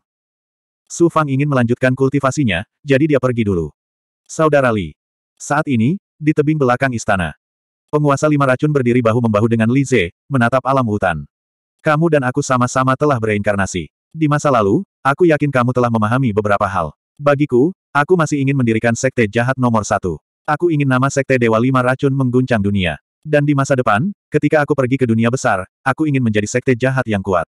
Bantu aku kali ini. Jika tidak, kamu akan dibelenggu oleh sekte pedang teratai hijau, sekte roh abadi, dan sekte pedang teratai hijau. Sekte lain, Anda tidak akan memiliki kebebasan sejati. Master Sekte, kamu baru saja memiliki tubuh sejati lima racun. Tidak akan lama sebelum kamu memulihkan kekuatanmu, kan? Tanya Li Zeqing. Saya bahkan tidak memiliki sepersepuluh dari kekuatan saya sebelumnya. Pada puncaknya, saya berdiri di puncak dunia kecil mana pun. Saya memerlukan waktu puluhan tahun, atau bahkan seratus tahun untuk pulih. Selama waktu ini, saya akan fokus pada kultivasi. Hal lainnya adalah mengingat semua lambang api suci. Mari kita lihat apakah ada murid kuat yang muncul dalam puluhan ribu tahun. Setelah mengatakan itu, penguasa lima racun terus merasakan dao surgawi. Jauh di dalam altar. Bang! Tubuh fisik Su Fang memancarkan ki kesengsaraan yang mengerikan. Tiba-tiba, kesengsaraan Ki meledak. Energi yang mengerikan mengeluarkan sejumlah besar kotoran. Sembilan lapisan. Energinya berubah dari delapan lapisan menjadi sembilan lapisan. Lapisan kesembilan yang abadi. Su Fang merasa sedikit terhibur. Jika ini terus berlanjut, dia akan dengan cepat menerobos ke lapisan ke-10 abadi dan kemudian menerobos ke alam abadi. Meskipun Su Fang telah mencapai alam kematian, dia masih sangat jauh dari alam bencana. Dia berada di ujung bumi. Namun di alam kematian, kekuatan dan kemampuan Su Fang akan mengalami transformasi besar. Tuan, bawahan ini ceroboh dan meremehkan penguasa lima racun. Jika bukan karena Li Zeqing, penguasa lima racun pasti akan membunuhku. Dia berada di tengah-tengah terobosan, membimbing kekuatan pembersihan sumsum -sum untuk membantunya maju. Botol giok raksasa muncul di celah ilahi miliknya. Dia menyalahkan dirinya sendiri. Aku tidak bisa menyalahkanmu untuk ini. Aku hanya bisa mengatakan bahwa penguasa lima racun terlalu kuat. Dia baru saja hidup kembali, tapi dia sudah memiliki kekuatan seperti itu. Dia menemukanku begitu cepat. Ketika dia merasakan penguasa lima racun ketika pegunungan bulan terbenam bergetar, dia sangat terkejut. Dia bahkan berpikir untuk pergi diam-diam. Namun kemudian, dia dengan tegas menghadapinya secara langsung. Untungnya tidak ada bahaya. Siapa? Siapa? Kekuatan pembersihan sumsum -sum menutupi kekuatan pembersihan sumsum. -sum. Kedua kekuatan itu seperti dua binatang buas yang menyerang tubuh fisiknya, gelombang demi gelombang. Dia memanggil buah abadi lainnya. Dengan menggunakan pisau kecil, dia memotong buah abadi menjadi puluhan bagian. Buah abadi tidak mungkin terlalu besar. Awalnya adalah kekuatan tingkat tinggi, jadi tidak bisa menyatu sempurna dengan tubuh. Setelah menyelesaikan kemajuannya, dia membuka banyak luka di tubuhnya. Setelah menelan buah abadi, Su Fang dapat merasakan banyak perubahan pada tubuh fisiknya, terutama kemampuan pemulihannya. Luka di tubuhnya sembuh dalam waktu setengah dupa. Kemampuan pemulihannya sungguh mengerikan. Setelah menerobos ke lapisan kesembilan yang abadi, tubuh fisiknya terus menyerang pembersihan sumsum. -sum. Lagi dan lagi. Yang Meridian, Violet Key Spirit, Divine Aperture. Setiap saat, tubuh fisik dan kekuatan Su Fang meningkat seiring dengan dampak kekuatan pembersihan sumsum. -sum. Perubahan yang dialaminya setiap hari sungguh mencengangkan. Setelah pembersihan sumsum -sum terus-menerus selama setengah bulan. Bagi Su Fang, yang berada di lautan pembersihan sumsum, -sum, setengah bulan berlalu seperti beberapa tahun. Dia membuka luka lain dan membiarkan tubuh fisiknya menelan irisan buah abadi. Dia mulai menggunakan teknik jari seratus titik akupuntur untuk memandu kekuatan pembersihan sumsum -sum untuk menyerang tubuh fisiknya, bersiap menerobos ke lapisan ke-9 yang tak mati dan lapisan ke-10 yang tak mati. Tubuh fisiknya selalu seperti lautan yang bergejolak, dan kekuatan pembersihan sumsum -sum seperti badai, memicu gelombang badai di lautan. Selama periode ini, terdapat banyak kotoran di plasenta, dan dia menelan banyak sumber daya, seperti pil pembersih sumsum. -sum. Matanya tiba-tiba terbuka, dan dia menggunakan teknik jari seratus titik akupuntur untuk menyegel meridian di tubuhnya. Mereka mulai mengembun dan berkembang. Ketika mereka mencapai batas tertentu, segelnya terbuka dalam sekejap. Ledakan. Tubuh fisiknya bergetar, dan kabut berdarah muncul dari kepala Su Fang. Dia merasakan kepalanya bergemuruh dan penuh guntur, tapi dia tidak peduli tentang itu. Kesengsaraan Ki melonjak keluar dari tubuhnya. Saat ini, tubuh fisiknya menyerang ke arah yang berlawanan. Kekuatan pembersihan sumsum datang dari luar ke dalam, tapi kali ini, datang dari dalam keluar, melepaskan semua energinya. Bang! Energinya seperti seekor harimau lapar yang menerkam seekor domba, gemetar dan bergema di istana bawah tanah. Mulut Sufang terguncang, dan darah mengalir keluar. Dia menyekanya dan segera melihat sepuluh lapisan energi di sekelilingnya. Lapisan ke-10 yang abadi. Puncak alam abadi. Hebat, sekarang dia telah mencapai lapisan ke-10 kematian, langkah selanjutnya adalah menerobos ke alam kematian. Jika ini terus berlanjut, alam kematian akan segera dipromosikan. Setelah beberapa saat, promosi berakhir, dan Su Fang sekali lagi memandu kekuatan pembersihan sumsum -sum altar untuk membersihkan tubuhnya. Berdengung. Tiba-tiba, di antara meridian yang tak terhitung jumlahnya di tubuhnya, salah satunya tiba-tiba bergerak. Itu adalah meridian yang terbakar. Ketika dia memfokuskan pikirannya, dia langsung merasa senang. Ternyata meridian yang ketiga terbakar dengan nyala energi yang yang mengejutkan. Meridian yang hampir transparan, dan di bawah nyala api, hampir menghilang. Saat nyala api melambat, meridian menjadi merah. Dinding kristal, daging, dan darah semuanya adalah energi yang murni. Di antara meridian yang tak terhitung jumlahnya, meridian yang seperti sepotong batu giok yang menghubungkan semua meridian. Ini adalah meridian yang ketiga yang selesai. Tidak terduga, sungguh tidak terduga. Meridian yang ketiga telah berhasil dikembangkan. Sekarang saya memiliki tiga meridian yang, kekuatan saya menjadi dua kali lipat. Su Fang tidak bisa menyembunyikan kegembiraannya. Tidak ada teknik budidaya atau harta dharma yang dapat dibandingkan dengan transformasi sembilan yang sembilan. Tugas utamanya adalah mengolah meridian yang. Dengan setiap tambahan meridian yang, energi yang murninya akan berlipat ganda dan menjadi lebih kuat. Semakin banyak meridian yang yang dimilikinya, semakin tak terduga energi yang murni miliknya. Dia telah menerobos ke alam kematian. Sekarang dia memiliki meridian yang ketiga, itu benar-benar merupakan berkah ganda. Dia segera menyerap energi roh altar. Saat kekuatan pembersihan sumsum mengalir ke meridian yang ketiga, sebagian besar energi tubuh fisiknya juga mengalir masuk. Segera, dia merasakan tubuh fisiknya runtuh. Terlepas dari tiga meridian yang, roh aura dharma ungu, dan bukaan ilahi, tubuh fisiknya seringan bulu. Berdengung. Ki dingin yang kuat tiba-tiba melonjak keluar dari alam asal ilahi. Su Fang kaget. Dia segera memisahkan seutas jiwa esensinya dan memasuki alam asal ilahi. Ketika dia sampai di ruang cermin kuno, Ki dingin menyerang, tapi dia masih tidak bisa bergerak di ruang itu. Suara wanita misterius itu datang dari dalam. Kamu telah mengembangkan meridian yang lainnya. Ya, saya telah mengembangkan meridian yang ketiga. Saya merasa energi yang murni di tubuh saya tiga kali lebih kuat. Itu benar-benar wanita misterius itu. Su Fang menjawab dengan hormat. Tidak heran aku merasa auramu semakin kuat. Kamu harus mengingat satu hal di masa depan. Semakin banyak meridian yang yang kamu miliki, semakin kuat energi yang murnimu. Kamu harus menyerap lebih banyak energi matahari dan bintang. Energi matahari dan bintang. Tahukah kamu apa asal mula kehidupan? Ini. Itu adalah bintang-bintang, itu adalah matahari. Bintang-bintang mengandung energi yang murni tertinggi, dan itu adalah energi yang paling besar dan misterius. Misalnya, kekuatan asal nirwana dalam tubuhmu sebenarnya berasal dari bintang-bintang. Bintang-bintang itulah yang memproyeksikan bintang-bintang ke dalam sungai bintang, dan sungai bintang kemudian membentuk dunia kecil yang tak terhitung jumlahnya. Kalau begitu cara kultivasi saya adalah berkultivasi di alam. Misalnya, jika Anda diberi item dao dan mengolahnya, masa depan Anda tidak akan sekuat jika Anda berkultivasi di alam dan menyerap kekuatan bintang. Item dan sumber daya dao sebenarnya lahir dari bintang-bintang dan alam semesta. Pada akhirnya, mereka semua menyerap kekuatan bintang-bintang. Namun, setiap kultivator abadi atau fana akan kesulitan untuk langsung menyerap kekuatan bintang-bintang kecuali mereka bertemu secara kebetulan, dan kamu adalah salah satu dari mereka. Ingat ini, jika efek penyerapan energi bintang tidak jelas, Anda bisa menunggu lebih banyak meridian yang terbentuk. Singkatnya, Anda harus perlahan-lahan beradaptasi dan mencoba. Saya akan mengasingkan diri. Selamat telah mendapatkan meridian yang ketiga. Terus bekerja keras. Wanita misterius itu perlahan-lahan pergi. Suara mendesing. Kesadarannya kembali. Setelah meninggalkan alam asal ilahi yang dalam, Su Fang merasa jauh lebih nyaman. Namun, dia tidak mengerti. Dia memiliki segala macam keraguan. Misalnya, Mengapa menyerap energi bintang tidak seefektif mengolah di ruang artefak Dao? Apa sebenarnya kekuatan bintang-bintang? Apakah itu kekuatan yang murni? Singkatnya, masih banyak lagi. Alasan dia bingung adalah karena ini di luar pemahamannya. Dia adalah seorang kultivator abadi, tapi bagaimana dengan wanita misterius itu? Apakah energi bintang juga energi alami? Lupakan saja, kepalaku sakit. Aku harus terus menerobos ke alam kematian tingkat ke-10 dan mulai menyerang meridian yang keempat. Aku akan memikirkannya nanti. Pada akhirnya, dia dengan tegas menyerah dan terus berkultivasi. 376. Kekuatan bintang-bintang. Percakapan Sufang dengan wanita misterius itu telah membuka pintu lain menuju Beyond the Heavens. Di luar surga adalah bagian luar. Mengingat tingkat kekuatan Sufang saat ini, tidak mungkin dia bisa mencapai tingkat itu. Sekali lagi, dia menyerang divisi ke-10 yang abadi. Setelah mencapai titik tertentu, Su Fang mengalihkan perhatiannya dari Suan Guang, yang di dalamnya terdapat patung batu dengan telapak tangan terkatup. Itu adalah patung yang dia peroleh dari reruntuhan abadi yang menyembah surga.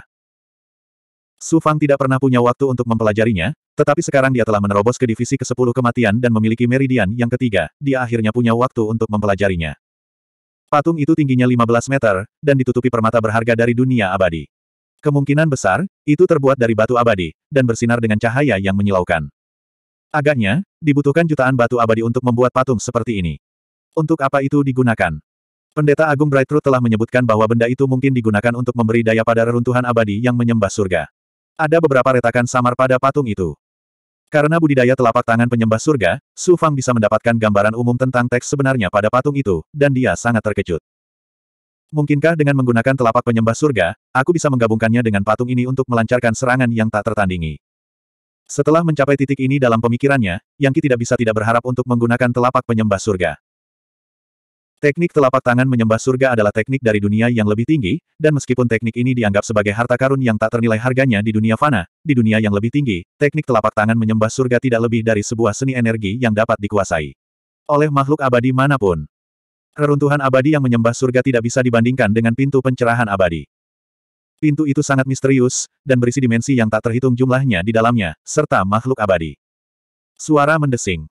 Kekuatan tak kasat mata dari telapak tangannya menyatu dengan patung itu. Patung itu meledak dengan energi yang menakutkan, dan dua telapak tangan besar muncul di depannya. Su Fang mengendalikan patung itu untuk menggunakan telapak tangan penyembah surga. Memukul. Patung itu bergetar, dan kedua telapak tangan besar itu melesat ke depan sejauh 30 meter. Suara gemuruh memenuhi udara, dan seluruh pekuburan bergetar. Kekuatan patung itu sepertinya hampir menyebabkan pekuburan itu runtuh. Luar biasa, luar biasa melampaui kata-kata. Ada beberapa rune sejati yang tidak lengkap di dalam patung yang memang dapat mendukung teknik telapak tangan surgawi. Sekarang saya memiliki metode lain untuk menghadapi para ahli. Dia diam-diam mengedarkan kinya dan akhirnya menerima konfirmasi. Dia sangat bersemangat. Lusinan patung batu telah diperoleh oleh kekuatan besar yang berbeda, tapi pada akhirnya, adakah yang bisa mengaktifkannya? Tidak, selain Su Fang, yang dapat membuka patung batu tersebut, yang lain hanya dapat memperlakukan patung batu tersebut sebagai batu abadi atau memasukkannya ke dalam sumber dojo untuk meningkatkan energi spiritual tingkat tinggi dojo. Itu membuat dojo tampak seperti terhubung dengan dunia abadi. Menyingkirkan patung batu itu, Zhang Xuan merasa bahwa dia telah mencapai tingkat ke-10 yang abadi. Namun, dia masih membutuhkan waktu sebelum dia bisa mencapai alam abadi. Dia membuat lebih banyak luka kecil di tubuhnya, dua kali lebih banyak dari sebelumnya. Lebih dari seratus luka dibuat, dan buah abadi, pil pembersih sumsum, -sum, dan pil obat lainnya yang dapat meningkatkan kekuatan hidup seseorang digabungkan ke dalam dagingnya. N. Secara tidak sengaja, Su Fang melihat pemandangan yang sangat mengejutkan. Lengan kiri yang dibentuk oleh kayu penjinak naga juga mengalami beberapa luka. Dia baru saja memasukkan buah abadi ke dalam dagingnya. Tanpa diduga, dagingnya langsung menyebabkan buah abadi itu sedikit gosong, lalu dengan cepat menyatu dengannya. Su Fang tidak perlu mengendalikan tubuhnya untuk menelannya dengan paksa. Dia juga telah membuat sayatan di lengan kiri kayu penjinak naga sebelumnya untuk menyatu dengan buah abadi, tapi mengapa buah itu tidak memiliki efek fusi seperti ini? Bingung sejenak, dia mengeluarkan buah abadi lainnya. Saat dia hendak membuat luka di lengan kirinya, tanpa diduga, aura lengan kirinya menyebabkan buah abadi secara alami melayang ke lengan kirinya dan dekat dengan daging lengan kirinya ketika Su Fang tidak mengendalikannya. Buah abadi memancarkan cahaya spiritual yang mempesona dan aroma buah. Sebaliknya, daging mulai menyerap energi tersebut. Buah abadi itu berangsur-angsur berubah menjadi air buah yang aneh dan dituangkan ke dalam daging Sufang. Aneh. Sungguh aneh. Kali ini, tanpa Sufang mengendalikan tubuhnya, lengan kirinya bisa langsung menyerap buah abadi itu. Apa yang sedang terjadi? Dan lengan kirinya juga mengalami masalah normal. Kecepatan menyerap seluruh buah abadi tidak terlalu mengejutkan. Jika itu adalah sepotong buah abadi, kecepatannya sangat mengejutkan. Sepertinya ada beberapa perubahan pada lengan kiriku. Setelah berpikir sejenak, dia akhirnya meletakkan kayu penjinak naga di lengan kirinya. Kayu penjinak naga adalah sari kayu yang lahir dari sari kayu alami, dan buah abadi juga merupakan kristalisasi sari kayu. Karena keduanya merupakan sari kayu. Dia mengambil ramuan abadi lainnya. Ramuan abadi mendekati lengan kirinya. Namun kali ini, dia tidak melakukan pemotongan. Ramuan abadi menempel di lengan kirinya seperti buah abadi. Kemudian, energi abadi perlahan diserap oleh lengan kirinya. Kecepatannya tidak mengejutkan. Itu seperti setetes air yang mengalir melalui hatinya. Karena tumbuhan abadi dan buah abadi baik-baik saja. Dia mengeluarkan ramuan roh biasa. Dan kali ini, Su Fang menebak dengan benar. Ramuan roh ini tidak sebanding dengan ramuan abadi dan buah abadi. Begitu muncul, itu diserap dengan paksa oleh lengan kirinya. Hanya dalam tiga tarikan napas, aura ramuan roh terserap seluruhnya. Dalam sekejap, ia layu dan melayang ringan ke tanah. Aneh, sungguh aneh. Aku tidak menyangka kayu penjinak naga akan berubah seperti ini. Dengan cara ini, di masa depan, lengan kiriku dapat dengan bebas menyerap esensi kayu apa pun. Jika aku menstimulasi lebih banyak potensi, lengan kiriku bahkan dapat merasakan kekuatan kayu tersebut. Esensi kayu dari alam. Lengan kirinya seperti magnet yang khusus menyerap sari kayu. Su Fang tidak bisa menahan kegembiraannya. Dengan kemampuan ini, di masa depan, dia dapat dengan mudah menyerap esensi kayu apa pun untuk meningkatkan kekuatan hidupnya dan memperkuat lengan kirinya. Lengan kirinya yang menyerap esensi juga setara dengan Su Fang yang menyerap esensi. Saya pikir perubahan di lengan kiri saya terkait dengan terobosan saya baru-baru ini. Semakin kuat tubuh saya, semakin sempurna kayu penjinak naga akan menyatu dengan tubuh saya. Akhirnya, dengan tubuh saya yang sempurna, saya dapat menstimulasi kemampuan naga penjinak. Lengan kiri kayu penjinak naga. Jika aku menerobos ke alam abadi. Dengan pemikiran ini, Su Fang mau tidak mau bertanya pada dirinya sendiri dengan penuh harap. Begitu dia melangkah ke alam kekal, bukankah akan ada perubahan lain pada tubuh sempurnanya? Lengan kiri kayu penjinak naga, pada akhirnya, masih merupakan kemampuan tubuh sempurnanya. Alam yang tidak bisa dihancurkan, dia harus mencapai alam yang tidak bisa dihancurkan sesegera mungkin. Dia sangat penasaran untuk melihat apa yang akan terjadi dengan tubuh sempurnanya. Dia mengeluarkan buah abadi. Dia hanya menggunakan sedikit buah abadi baru-baru ini. Ini adalah harta karun yang dapat memperkuat otot dan darah serta meningkatkan kekuatan hidup. Itu adalah sesuatu yang hanya bisa ditemukan secara kebetulan. Dia tidak akan menyia-nyiakan harta karun tersebut dan segera melahapnya. Seperti buah abadi, ada beberapa buah-buah abadi. Dia membelah ratusan buah dan menuangkan potongannya ke dalam dagingnya. Kemudian, dia memandu kekuatan pemurnian altar untuk memulai terobosan. Alam yang tidak dapat dihancurkan. Itulah satu-satunya pemikiran di benak Sufang. Setelah memasuki alam abadi, dia akan memiliki kesempatan untuk mengolah jiwa yang, yang dapat membunuh orang di luar angkasa. Tidak ada yang tidak bisa dilakukannya. Bahkan mengolah bentuk ilahi membutuhkan jiwa yang. Li Zeqing tidak muncul selama ini. Mungkin dia sedang menghibur penguasa lima racun. Siapa yang tahu apa yang dipikirkan kedua pemimpin itu? Di alam semesta kegelapan, sembilan komandan, Bai Ling dan penggarap Agung Yuezhen juga mengolah dan menyerap esensi tingkat tinggi yang telah disempurnakan Sufang. Sama seperti Sufang, mereka juga dengan gila-gilaan melahap kekuatan roh dari pil abadi, pil esensi murni, pil pembersih sumsum, -sum, dan buah dewa. Hanya ada sembilan komandan. Ketika aku mencapai alam abadi, aku akan fokus untuk menekan mereka dan bersiap membangun kekuatan alkimiaku sendiri di lapangan hutan. Gua tempat tinggal di ladang meteorit hanyalah tempat sementara untuk alkimia. Itu tidak bisa digunakan untuk waktu yang lama. Pikirannya sangat jernih. Dengan arahan, dia fokus menyerap kekuatan pemurnian. Sekitar setengah bulan kemudian, Su Fang mengeluarkan setetes darah seukuran buah kenari. Tetesan darah Raja Embun Beku ini sungguh luar biasa. Ini mengandung darah iblis sejati. Aku bisa merasakan kultivator Agung Yuezhen, yang melahap darah itu, mempunyai ki iblis sejati. Aku bisa melahap sedikit darah ini dan hanya menyerap esensi dewa. Sumber daya. Su Fang tidak kekurangan sumber daya sekarang, terutama tubuh Raja Embun Beku. Tubuh dewa adalah harta karun yang tak ada habisnya. Itu adalah cara yang luar biasa untuk meningkatkan kekuatan para pelayannya dan dirinya sendiri. Dia bahkan memberikan esensi dewa kepada Gui Gui untuk dikembangkan. Gui Gui tidak takut pada apa pun. Selama itu darah, ia menyukainya. Sedikit esensi ini cukup untuk membantuku mencapai alam kekal dengan cepat. Aku tidak punya banyak waktu. Bahkan jika darah dewa mengandung darah iblis sejati dan mungkin berdampak besar pada kultivasiku di masa depan, masa depan masih terlalu jauh. Pergi. Saya harus memastikan bahwa saya dapat bertahan hidup sekarang. Setelah mendapatkan tubuh Raja Embun Beku, Su Fang hanya menyempurnakannya untuk diolah oleh para pelayannya dan penggarap Agung Yuezhen. Dia hanya menyerap selusin tetes darah biasa satu kali dan mencapai alam kematian tingkat keenam. Setetes darah seukuran buah kenari ini adalah esensi abadi yang diekstraksi dari tubuh Raja Beku. Waktu. Setiap hari yang berlalu berkurang satu hari. Demi kekuatan, dia rela melakukan apa saja. Setidaknya dia memiliki kemampuan untuk memurnikan darah dewa dan menggunakan tubuh alam kematiannya untuk menghasilkan kekuatan dewa.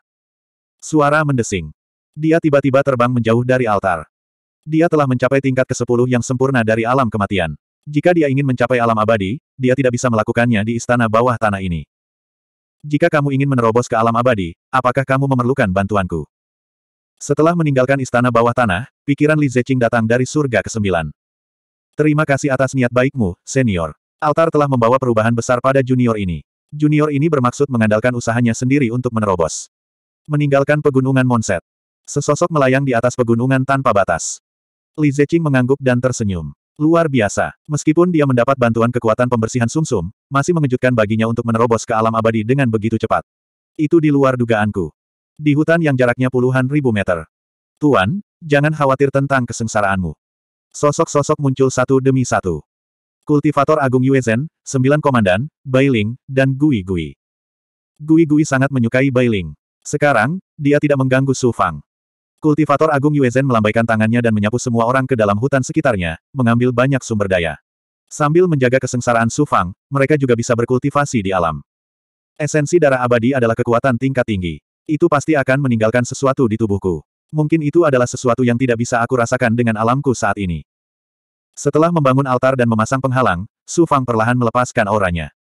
Suan Guang melayang keluar. Di tengahnya ada bekas darah. Itu hanya jejak darah kental. Kultivator Agung Yuezen dapat memadukan beberapa tetes sekaligus. Su Fang tidak bisa dibandingkan dengannya, dan para komandan juga bisa menyerap beberapa tetes. Karena mereka iblis, mereka dilahirkan untuk menanggung kekuatan alam. Jika mereka menelan terlalu banyak, itu akan menyebabkan penyumbatan dan kekuatan tingkat tinggi akan menekan kekuatan fana Su Fang. Pada akhirnya, itu akan ditekan sampai dia tidak bisa mengolahnya. Bahkan jika itu adalah setetes darah immortal. Kultivator tertinggi mana yang tidak ingin mendapatkannya. Su Fang memilikinya, tapi dia tetap diam karena takut. Setetes darah di tubuh, entah seberapa besar dampaknya di masa depan. Raih masa kini. Dia harus memilih. Dia tidak tahu bahwa saat ini, kuku jarinya telah menusuk jauh ke telapak tangannya, menggaruk kulitnya. Darah membakar tinjunya. Sepuluh tahun, aku hanya punya sepuluh tahun. Sepuluh tahun yang lalu, aku bisa menantang surga dengan umur panjang. Sepuluh tahun kemudian, aku masih bisa mengendalikan alam semesta. Nasibku akan ditulis ulang olehku. Pada saat ini, semua pikiran yang mengganggu lenyap. Dia menyedot suan guang tempat darah itu berada, perlahan membuka mulutnya dan menelan darah itu ke dalam tubuhnya. Sampai jumpa. Dalam sekejap. Ketika darah dewa memasuki tubuhnya, memang ada aura familiar dari darah iblis sejati. Itu adalah kekuatan hidup yang tak tertandingi. Tapi sekarang, energi darah dewa memasuki tubuhnya. Saat itu meluas, kekuatannya sepenuhnya melampaui tubuh Sufang. Oleh karena itu, ia menekan tubuhnya dengan kekuatan yang tak terhentikan. 377. Pada saat ini, Su Fang sekali lagi berada di lautan kepahitan. Esensi darah abadi, dari atas ke bawah, menekan setiap inci dagingnya, meridiannya, dan dipenjarakan dengan keras. Itu sama seperti ketika kekuatan raksasa memasuki tubuhnya. Ledakan. Ledakan. Mungkin Su Fang telah meremehkan kekuatan seorang immortal. Terakhir kali, saat dia menyerap darah Frost King, dia hanya menyerap darah Frost King dan tidak memurnikannya. Kali ini, dia memurnikan esensi darah dari kotoran. Dia berpikir bahwa lautan kepahitan saat ini sudah menjadi batasnya. Namun yang terjadi selanjutnya adalah kekuatan dewa yang menekan seluruh tubuhnya, menyapu siklus besar surgawi, menyebabkan Su Fang meledak dari telapak kakinya hingga ke atas kepalanya. Ledakannya sungguh mencengangkan, seperti guntur yang meledak di tubuh Su Fang. Tubuh Su Fang segera hancur dan terkoyak, dari ujung kepala hingga ujung kaki. Yang lebih menyakitkan lagi adalah tulang-tulangnya mulai hancur, dan dagingnya mulai hancur total. Banyak bekas robekan yang muncul. Bukaan ilahi. Yang Meridian. Semangat Kidharma Ungu. Lengan kiri kayu penjinak naga. Ini adalah satu-satunya hal yang bisa dikendalikan Su Fang sekarang. Dia bahkan tidak bisa mengendalikan dantian tubuhnya. Dia melepaskan kekuatan dharmanya dan mengendalikan kekuatan yang murni di tubuhnya. Dengan yang meridian, lengan kiri kayu penjinak naga, dan roh Dharma ungu sebagai pusatnya, nyala api kehidupan yang tak tertandingi dan kekuatan yang murni meledak. Pada saat ini, kekuatan yang murni menutupi seluruh tubuh Su Fang. Aura buku iblis surgawi dan kekuatan harta dharma tidak lagi penting saat ini. Ini karena hanya kekuatan yang murni yang dapat memulihkan tubuh dan mengendalikan energi darah dewa. Kekuatan lain tidak dapat melakukannya sama sekali. Dia juga menggunakan transformasi sembilan yang sembilan dan mulai menyerap aura dingin dari alam suci kekacauan primordial.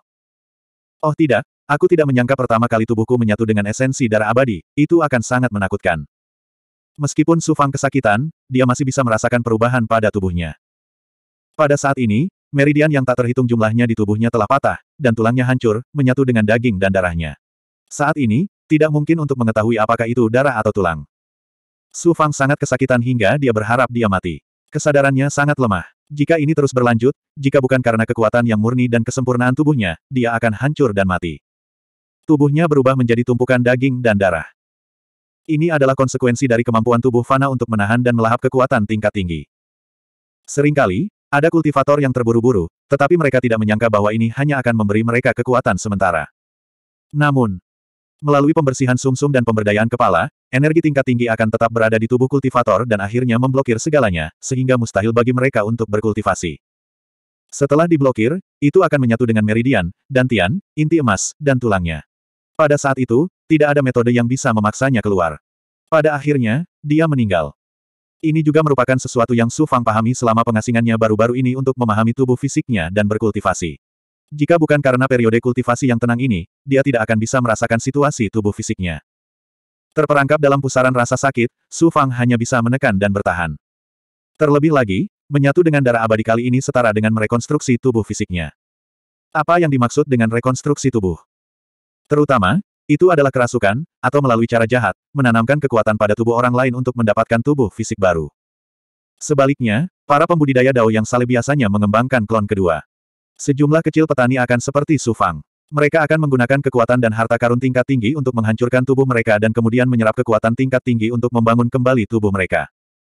Pada saat ini, ketika ledakan dan energi tingkat tinggi menyelimuti tubuhnya, terlalu banyak kotoran yang terus keluar. Itu benar-benar menakutkan dan tersebar di sekitar Su Fang. Su Fang tidak dapat merasakan kekuatan apa pun di tubuhnya karena meridian, tulang, dan dagingnya semuanya hancur dan patah. Satu-satunya hal yang bisa dia kendalikan adalah kekuatan dharmanya. Ini juga merupakan perbedaan antara kultivator dan manusia. Jika tubuh manusia hancur seperti ini, itu setara dengan cacat, tetapi para kultivator masih memiliki celah ilahi dan kekuatan dharma. Ketika celah ilahi terbentuk, kekuatan dharma lahir. Itulah prinsipnya. Kekuatan dharma mengendalikan energi yang murni dan menyatu dengan kidara abadi dan kekuatan hidupnya sendiri. Ditambah dengan kekuatan magis dari kultivasi ganda yin dan yang, secara bertahap, tekanan yang dibawa oleh energi tingkat tinggi sepertinya melemah. Panjang. Setiap menit dan detik terasa sangat lama. Yang bisa dilakukan Su Fang hanyalah mencoba yang terbaik untuk memadukan dan mengendalikan kekuatan abadi. Hari-hari berlalu. Hampir tiga bulan berlalu. Tiga bulan. Ini adalah waktu terlama yang dihabiskan Su Fang untuk berkultivasi selama periode ini. Tiga bulan lebih lama daripada bercocok tanam di istana bawah tanah. Hingga tubuh Su Fang terbakar dengan api yang murni. Meretih. Sekali lagi, ada gerakan di tubuhnya. Sebuah kekuatan besar melonjak di tubuhnya. Melihat tubuh Su Fang, sudah ada air mata yang tak terhitung jumlahnya. Seseorang dapat melihat seluruh tubuhnya. Su Fang bahkan tidak memiliki tulang apa pun di tubuhnya. Hanya daging dan darah. Dan api yang murni menggerakkan kekuatan hidup agung dan kidarah, berubah menjadi api yang murni yang membakar tubuh Su Fang. Di bawah nyala api yang mengerikan, sebagian tubuh Su Fang sebenarnya dibakar, perlahan-lahan berubah menjadi debu dan kemudian menjadi bubuk halus. Kidarah menyatu dengan daging dan darah, dan tulang tumbuh darinya. Ketika daging dibakar menjadi debu, tulang-tulang tumbuh darinya. Membentuk kembali tubuh. Dia secara tak terduga mencapai efek membentuk kembali tubuhnya setelah menyatu dengan darah abadi. Alasan utamanya adalah karena ini adalah pertama kalinya dia menyerap darah abadi. Jika dia menyatu dengan kekuatan Frost King lagi, dia tidak akan bisa membentuk kembali tubuhnya. Kecuali Su Fang melahap beberapa kali kekuatan abadi. Meski menyakitkan, saya tidak menyangka pertumbuhannya begitu ajaib. Su Fang melihat tulangnya tumbuh satu per satu. Dia akhirnya merasa lega. Ketika tulang tumbuh, daging dan darah menggunakan tulang sebagai pusatnya, memutar dan tumbuh lagi dan lagi. Rasanya sangat enak. Tidak akan ada terlalu banyak adegan menyaksikan tubuh tumbuh. Perlahan-lahan, tubuh baru yang terdiri dari daging dan darah telah lahir. Darah, meridian, tulang, dan otot akhirnya dibentuk kembali dengan sempurna di bawah perlindungan lapisan selaput daging padat. Hingga kulitnya tumbuh. Seperti bayi. Ini adalah kesan pertama Su Fang terhadap tubuh barunya. Kedua, kekerasan tulang telah mencapai tingkat yang tidak terbayangkan. Diperkirakan mirip dengan harta sihir kelas menengah. Dan meridiannya juga kokoh. Ruangnya juga jauh lebih besar, dan seluruh tubuhnya penuh dengan kekuatan yang murni. Melihat tubuhnya lagi, hanya lengan kirinya yang masih agak hijau merah. Tampaknya kayu penjinak naga belum menyatu sempurna dengan tubuh Su Fang. Harta roh alami tidak dapat digabungkan dalam waktu singkat. Terlebih lagi, Su Fang hanya berada di alam mayat hidup. Hanya ketika dia mencapai alam yang lebih tinggi di masa depan, dia dapat menyatu sempurna dengan kayu penjinak naga. Selanjutnya, bersiaplah untuk melampaui kesengsaraan. Seketika, dia mengeluarkan sejumlah besar sumber daya dan menelannya bersama-sama. Dalam proses menelan, Su Fang mulai menggunakan seluruh energi di tubuhnya untuk menerobos ke puncak tahap ke-10 mayat hidup. Beberapa hari kemudian, tubuh Su Fang memancarkan ki kesengsaraan. Oleh karena itu, langit berangsur-angsur berubah warna, dan beberapa awan gelap berangsur-angsur melonjak. Kesengsaraan surgawi sedang melanda. Dengan kekuatan tahap ke-10 mayat hidupku, tanpa mengandalkan harta sihir atau kekuatan eksternal apa pun, kekuatanku telah mencapai tahap kelima mayat hidup. Menerobos kesengsaraan surgawi bukanlah masalah. Su Fang membandingkan situasinya sendiri dengan budak abadi di lempeng darah iblis sejati. Dia dengan jelas menyadari bahwa kekuatannya saat ini berada di tahap kelima mayat hidup. Tampaknya sangat berbeda dari sebelumnya. Jika dia berada di tahap ke-10 persatuan surgawi, kekuatannya seharusnya berada di tahap ke-10 umur panjang. Tapi kali ini, kenapa kekuatannya hanya berada di tahap kelima mayat hidup? Alasan utamanya adalah perbedaan antara alam mayat hidup dan alam mati. Inilah kunci untuk menentukan kekuatan. Lompatan katak. Orang jenius dapat melewati satu langkah, dan orang-orang seperti Pangeran Sue, Seng Changsheng, dan Huang Lingyao dapat melewati beberapa langkah. Tetapi sangat sulit untuk melintasi wilayah yang besar. Su Fang sekarang berada di alam mayat hidup. Bagaimana dia bisa melintasi alam mayat hidup? Belenggu yang dibawa oleh alam sungguh tak terbayangkan. Jika Su Fang melangkah ke alam mayat hidup, maka dia akan memiliki kekuatan tahap ke-10 mayat hidup di tahap pertama mayat hidup. Saat ini, langit tertutup awan gelap. Langit penuh dengan kilat, guntur, dan api kesusahan serta angin astral yang familiar juga menekan. Su Fang naik ke langit, mengambil pedang Qi, dan menatap awan gelap. Membelanjakan. Kesengsaraan surgawi yang pertama datang dengan sangat cepat. Itu adalah sejumlah besar lapisan awan astral. Itu terlihat seperti awan, tapi nyatanya, kekuatannya tidak terbatas. Awan astral bertabrakan dengan kekuatan suci dan mencapai alam mayat hidup. Sejumlah besar awan astral berjatuhan seperti gelembung, lapis demi lapis. Su Fang mengambil inisiatif menyerang, memadatkan sejumlah besar pedang Qi dan terbang keluar. Bang! Pedang Qi dan awan astral bertabrakan secara langsung, seperti harta ajaib melawan harta ajaib.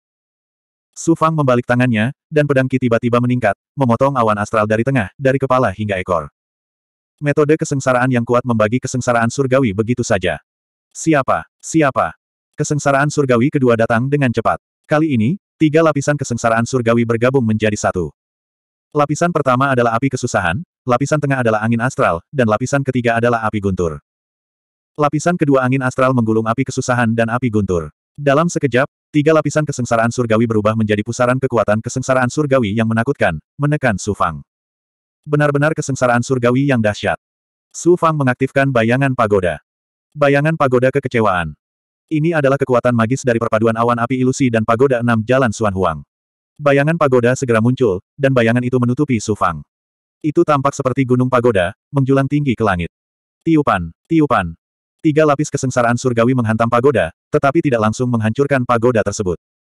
Sebaliknya, Pagoda tersebut langsung mengguncang kesengsaraan surgawi ke langit, melawan kekuatan kesengsaraan surgawi. Ledakan. Kekuatan kesengsaraan surgawi terkoyak oleh pagoda, langsung menghancurkannya. Meskipun kesengsaraan surgawi sangat menakutkan, kekuatan Su Fang telah lama melampaui alam mayat hidup. Dengan perpaduan awan api ilusi dan pagoda enam jalan Suan Huang, bukanlah masalah baginya untuk menghancurkan kesengsaraan surgawi. Kesengsaraan surgawi ketiga. Bayangan pagoda menghilang, dan kesengsaraan surgawi kedua berubah menjadi asap. Melihat awan kesusahan, tiba-tiba, enam sambaran petir terbentuk. Petir menyerap semua awan kesusahan, angin kesusahan, dan tiangan ki dan disaki dalam kesusahan surgawi, dan juga api kesusahan, membentuk enam kesengsaraan petir yang menakutkan. Petir. Secara alami, itu adalah kekuatan yang paling menakutkan. Itu juga merupakan kekuatan kesengsaraan yang membunuh sebagian besar penggarap dalam kesengsaraan surgawi. Jika dia menggunakan pertahanan untuk menghadapi kesengsaraan petir seperti itu, itu memang berbahaya. Su Fang sangat memahami hal ini. Sekalipun itu adalah kesengsaraan surgawi, lalu kenapa? Dia tidak bisa pasif. Teknik telapak tangan pemuja surga. Tiba-tiba, enam kesengsaraan petir yang menyerap semua kekuatan kesengsaraan surgawi jatuh satu demi satu, seperti pedang ciptaan, memotong kekacauan. Berdengung. Setelah melakukan segel tangan, sosok kuno merangkum sekeliling Sufang. Itu seperti makhluk surgawi yang menyembah surga. Bukan, ini adalah seni palma yang menyembah surga. Itu seperti raksasa kuno yang duduk bersila di langit, lalu ia menyatukan kedua telapak tangannya dan melihat keenam kesengsaraan petir. Saat mata Sufang melebar, sosok raksasa itu menyatukan kedua telapak tangannya dan mendorong dua telapak tangan raksasa untuk meraih enam kesengsaraan petir. Seolah ingin merebut surga. Seolah ingin menghancurkan langit. Di bawah naungan petir, seni telapak tangan penyembah surga memiliki panjang seribu kaki, seperti tangan raksasa. Ia menamparkan kesengsaraan petir, dan enam kesengsaraan petir ditampar puluhan meter jauhnya, dan kemudian terpecah menjadi ratusan kesengsaraan petir dalam sekejap. Ini karena kekuatan besar yang dibawa oleh seni telapak tangan penyembah surga telah sepenuhnya melampaui kesengsaraan surgawi dan menghancurkan enam kesengsaraan petir, yang berarti Su Fang telah melewati kesengsaraan surgawi. Seperti yang diharapkan. Kesengsaraan petir yang tak terhitung jumlahnya berangsur-angsur menghilang, dan awan gelap di langit mulai menghilang. Pada saat ini, Aura alami yang mengubah tubuh Su Fang dan mengubahnya menjadi roh api meresap ke dalam hatinya, dan Su Fang merasa sangat nyaman. Sampai jumpa. Tubuhnya hancur lagi, tapi segera pulih. Saat dia melihat tubuhnya lagi, tidak ada aura keabadian, melainkan aura yang sekokoh batu. Tampaknya trukinya berbobot. Tampaknya kekuatan Dharma miliknya telah berubah menjadi lautan. Tampaknya tubuhnya dan aura alam telah menyatu menjadi satu, dan ada rasa stabilitas. Ini adalah keadaan yang tidak dapat dihancurkan. 378. Setelah maju ke alam fragmentasi, perubahan pada tubuh fisiknya sangat jelas. Struktur tulang. Tulang seluruh tubuhnya seperti kristal darah, dan dagingnya seperti baja. Hal ini memungkinkan Su Fang memiliki belenggu lembaran besi, tubuh fisik paling kuat. Menggunakan tubuh fisiknya untuk melawan artefak Dharma bermutu tinggi, artefak Dharma bermutu tinggi tidak dapat menghancurkan tubuhnya. Seberapa kuatkah artefak Dharma bermutu tinggi? Hanya seorang kultivator alam jiwa yang yang dapat menggunakan kekuatan sebenarnya dari artefak Dharma bermutu tinggi. Dengan kata lain, artefak Dharma bermutu tinggi sama kerasnya dengan kultivator yang Soul Realm. Tubuh fisik Su Fang juga sekeras kultivator yang Soul Realm. Alam mati. Aku bisa mencapai alam mati dalam beberapa tahun. Namun, Pangeran Sui adalah seorang penggarap alam bencana, dan menerobos ke alam mati tidak semudah menerobos ke alam mati. Dalam beberapa tahun ke depan bertahun-tahun, aku harus menemukan cara untuk menekan komandan muda itu dan menggunakan kelebihanku untuk melawan Pangeran Sue. Sekte penyegel surgawi memiliki aturan. Murid tidak diperbolehkan menggunakan artefak Dharma dalam pertarungan di sekte tersebut. Oleh karena itu, mereka mengandalkan kekuatan dan kemampuan ilahi. Keuntungan Sufang adalah dia dapat menggunakan artefak Dharma di tubuhnya untuk mengirimkan kekuatan tanpa akhir kepada dirinya sendiri. Dia juga memiliki tiga meridian yang Selama pagoda enam jalan Suan Huang dapat memancarkan kekuatan yang mencapai alam bencana, Su Fang juga akan mampu menggunakan kekuatan alam bencana. Saat itu, dia akan memiliki kesempatan untuk bertarung melawan Pangeran Sue. Sekali lagi, jumlah luka di tubuhnya menjadi dua kali lebih banyak dari sebelumnya.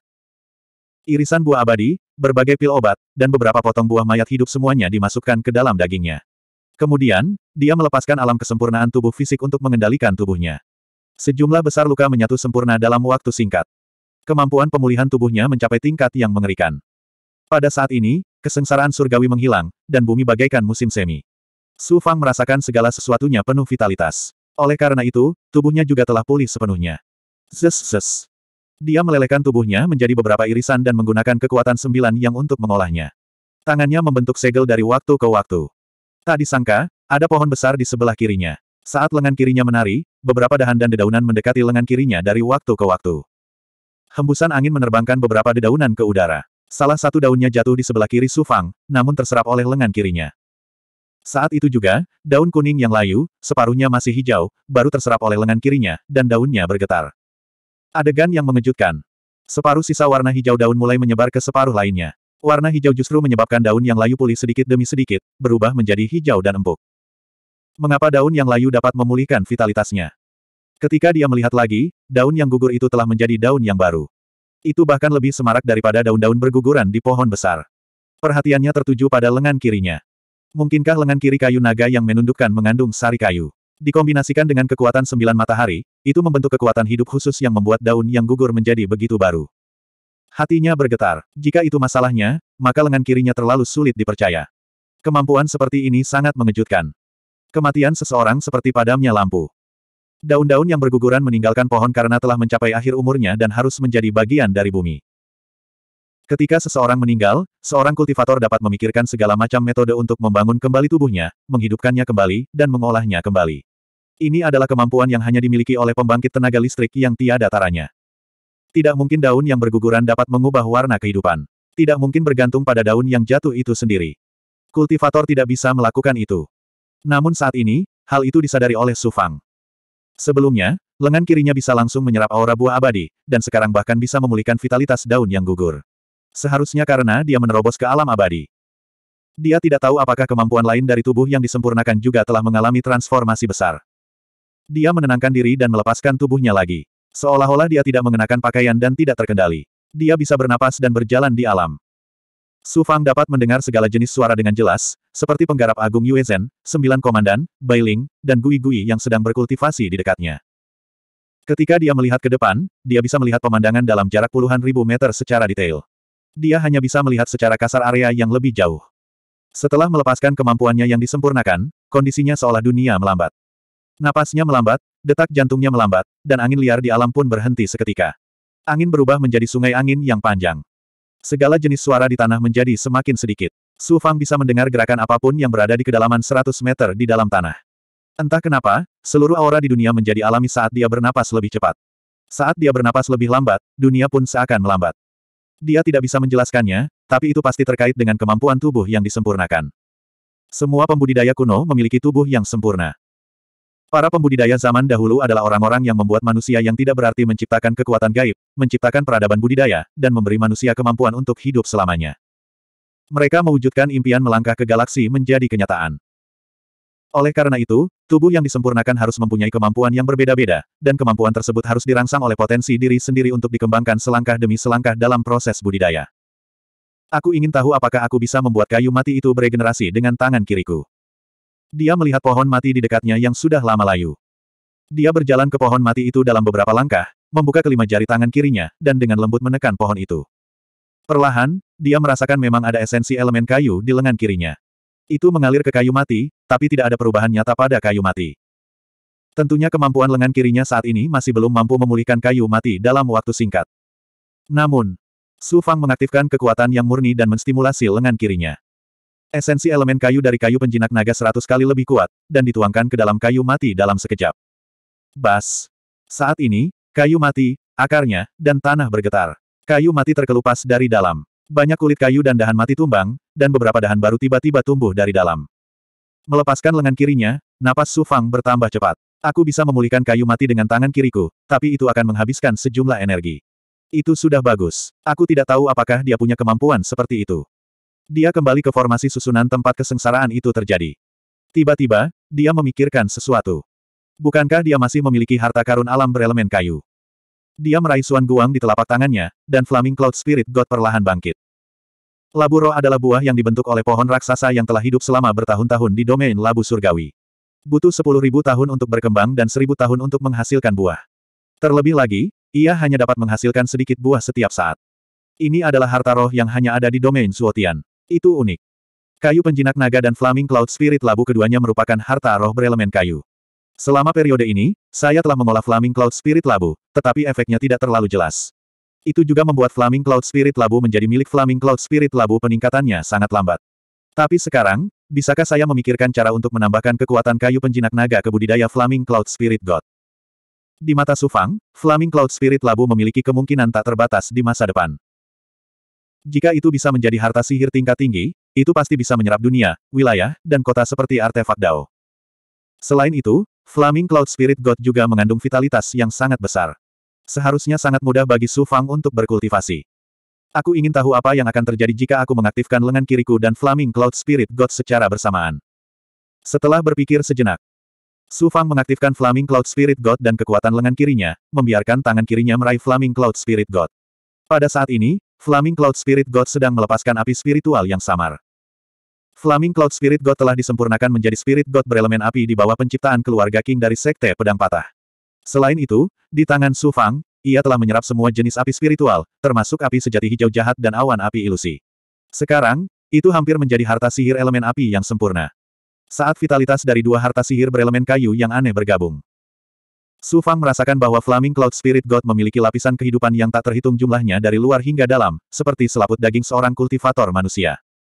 Dia merasa bahwa Flaming Cloud Spirit Fire sangat luas.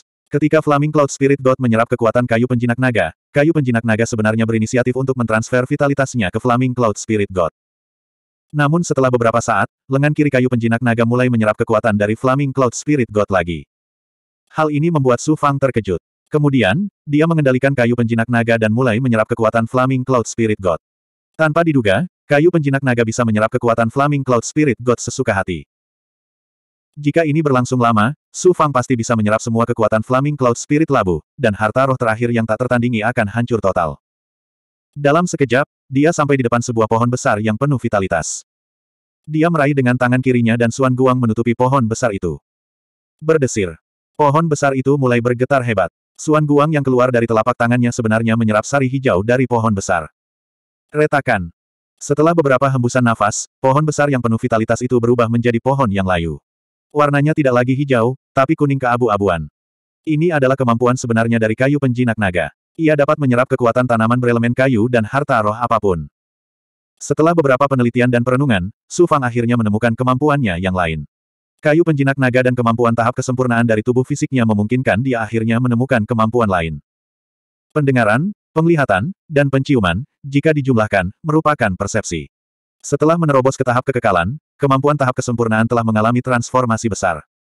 Dan sekarang, Kemampuan tahap kesempurnaan tubuh fisiknya bisa dikatakan sebagai kemampuan kayu penjinak naga.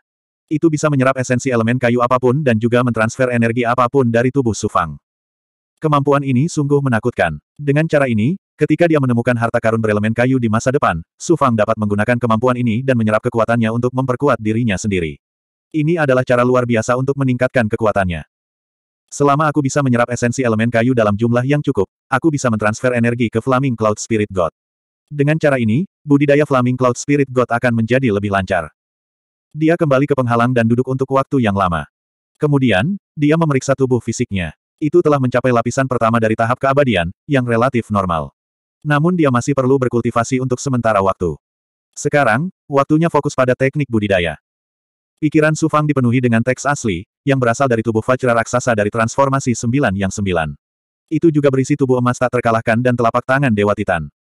Kodeks Surga Iblis dan segel disintegrasi Surga Iblis adalah teknik dari Dao Iblis. Untungnya, mereka fokus pada celah ilahi dan jiwa yang yang baru lahir, dan mengembangkan keilahian seseorang yang baru lahir. Itu adalah teknik keilahian khusus yang baru lahir yang membutuhkan jangka waktu lama untuk menjadi kuat. Energi pedang melodi teratai adalah mantra pedang dari Sekte Pedang Teratai Hijau. Su Fang telah mempelajarinya selama ini. Illusory Fire Cloud adalah seni energi kelas abadi yang sempurna. Itu bukanlah sesuatu yang bisa dikuasai oleh manusia fana. Adapun telapak penyembah surga, dengan patung batunya, tidak akan terlalu sulit untuk mengolahnya. Butuh waktu lama untuk berkultivasi secara perlahan. Sama seperti ketika dia pertama kali menguasai kodeks ular naga di Provinsi Tianmen, Su Fang telah mengembangkannya. Itu adalah kemampuan ilahi yang sederhana dan praktis. Akhirnya, dia memikirkannya. Sejak jika dia ingin menantang Pangeran Sue di rumah penyegelan abadi, yang terbaik adalah menggunakan tujuh kemampuan ilahi dari rumah penyegelan abadi. Pada saat yang sama, Su Fang dapat menggunakannya untuk menyembunyikan teknik luar biasa lainnya. Energi pedang surgawi Megaplexus, cakar Dewa Naga Langit, seni dingin langit giok, langkah dewa-dewa penguasa langit, segel segudang dewa, dan kitab suci penyegel abadi semuanya luar biasa. Hal itu terutama berlaku pada segel dewa segudang dan kitab suci penyegelan abadi. Raja senior Green Feather meninggalkan benih berumur 10.000 tahun, pikir Yang Qi. Itu adalah sumber daya yang akan membantuku menjadi tokoh teratas di House of Immortal Ceiling. Su Fang berada di dimensi kuning mendalam, melihat tanda segel yang berisi pecahan roda cerah kaisar manusia. Dia tidak bisa tidak memikirkan Raja Green Feather. Kemudian dia melihat pecahan roda cerah kaisar manusia. Dia pernah mencoba mengolahnya di masa lalu, tetapi tidak berhasil. Itu adalah harta magis sempurna yang terhubung ke jantung dunia. Itu bukanlah sesuatu yang bisa diserap dengan santai oleh seorang kultivator fana seperti dia. Sambil berpikir, sesosok muncul di hutan. Itu tidak lain adalah transenden-transenden yang agung. 379. Guru, selamat telah mencapai alam abadi. Penggarap Agung Yuezhen membungkuk. Guru tinggal selangkah lagi untuk mencapai alam yang Naschen Sol. Ada dua hambatan besar bagi para kultivator. Yang pertama adalah alam inti emas, dan alam serikat surga sangatlah penting.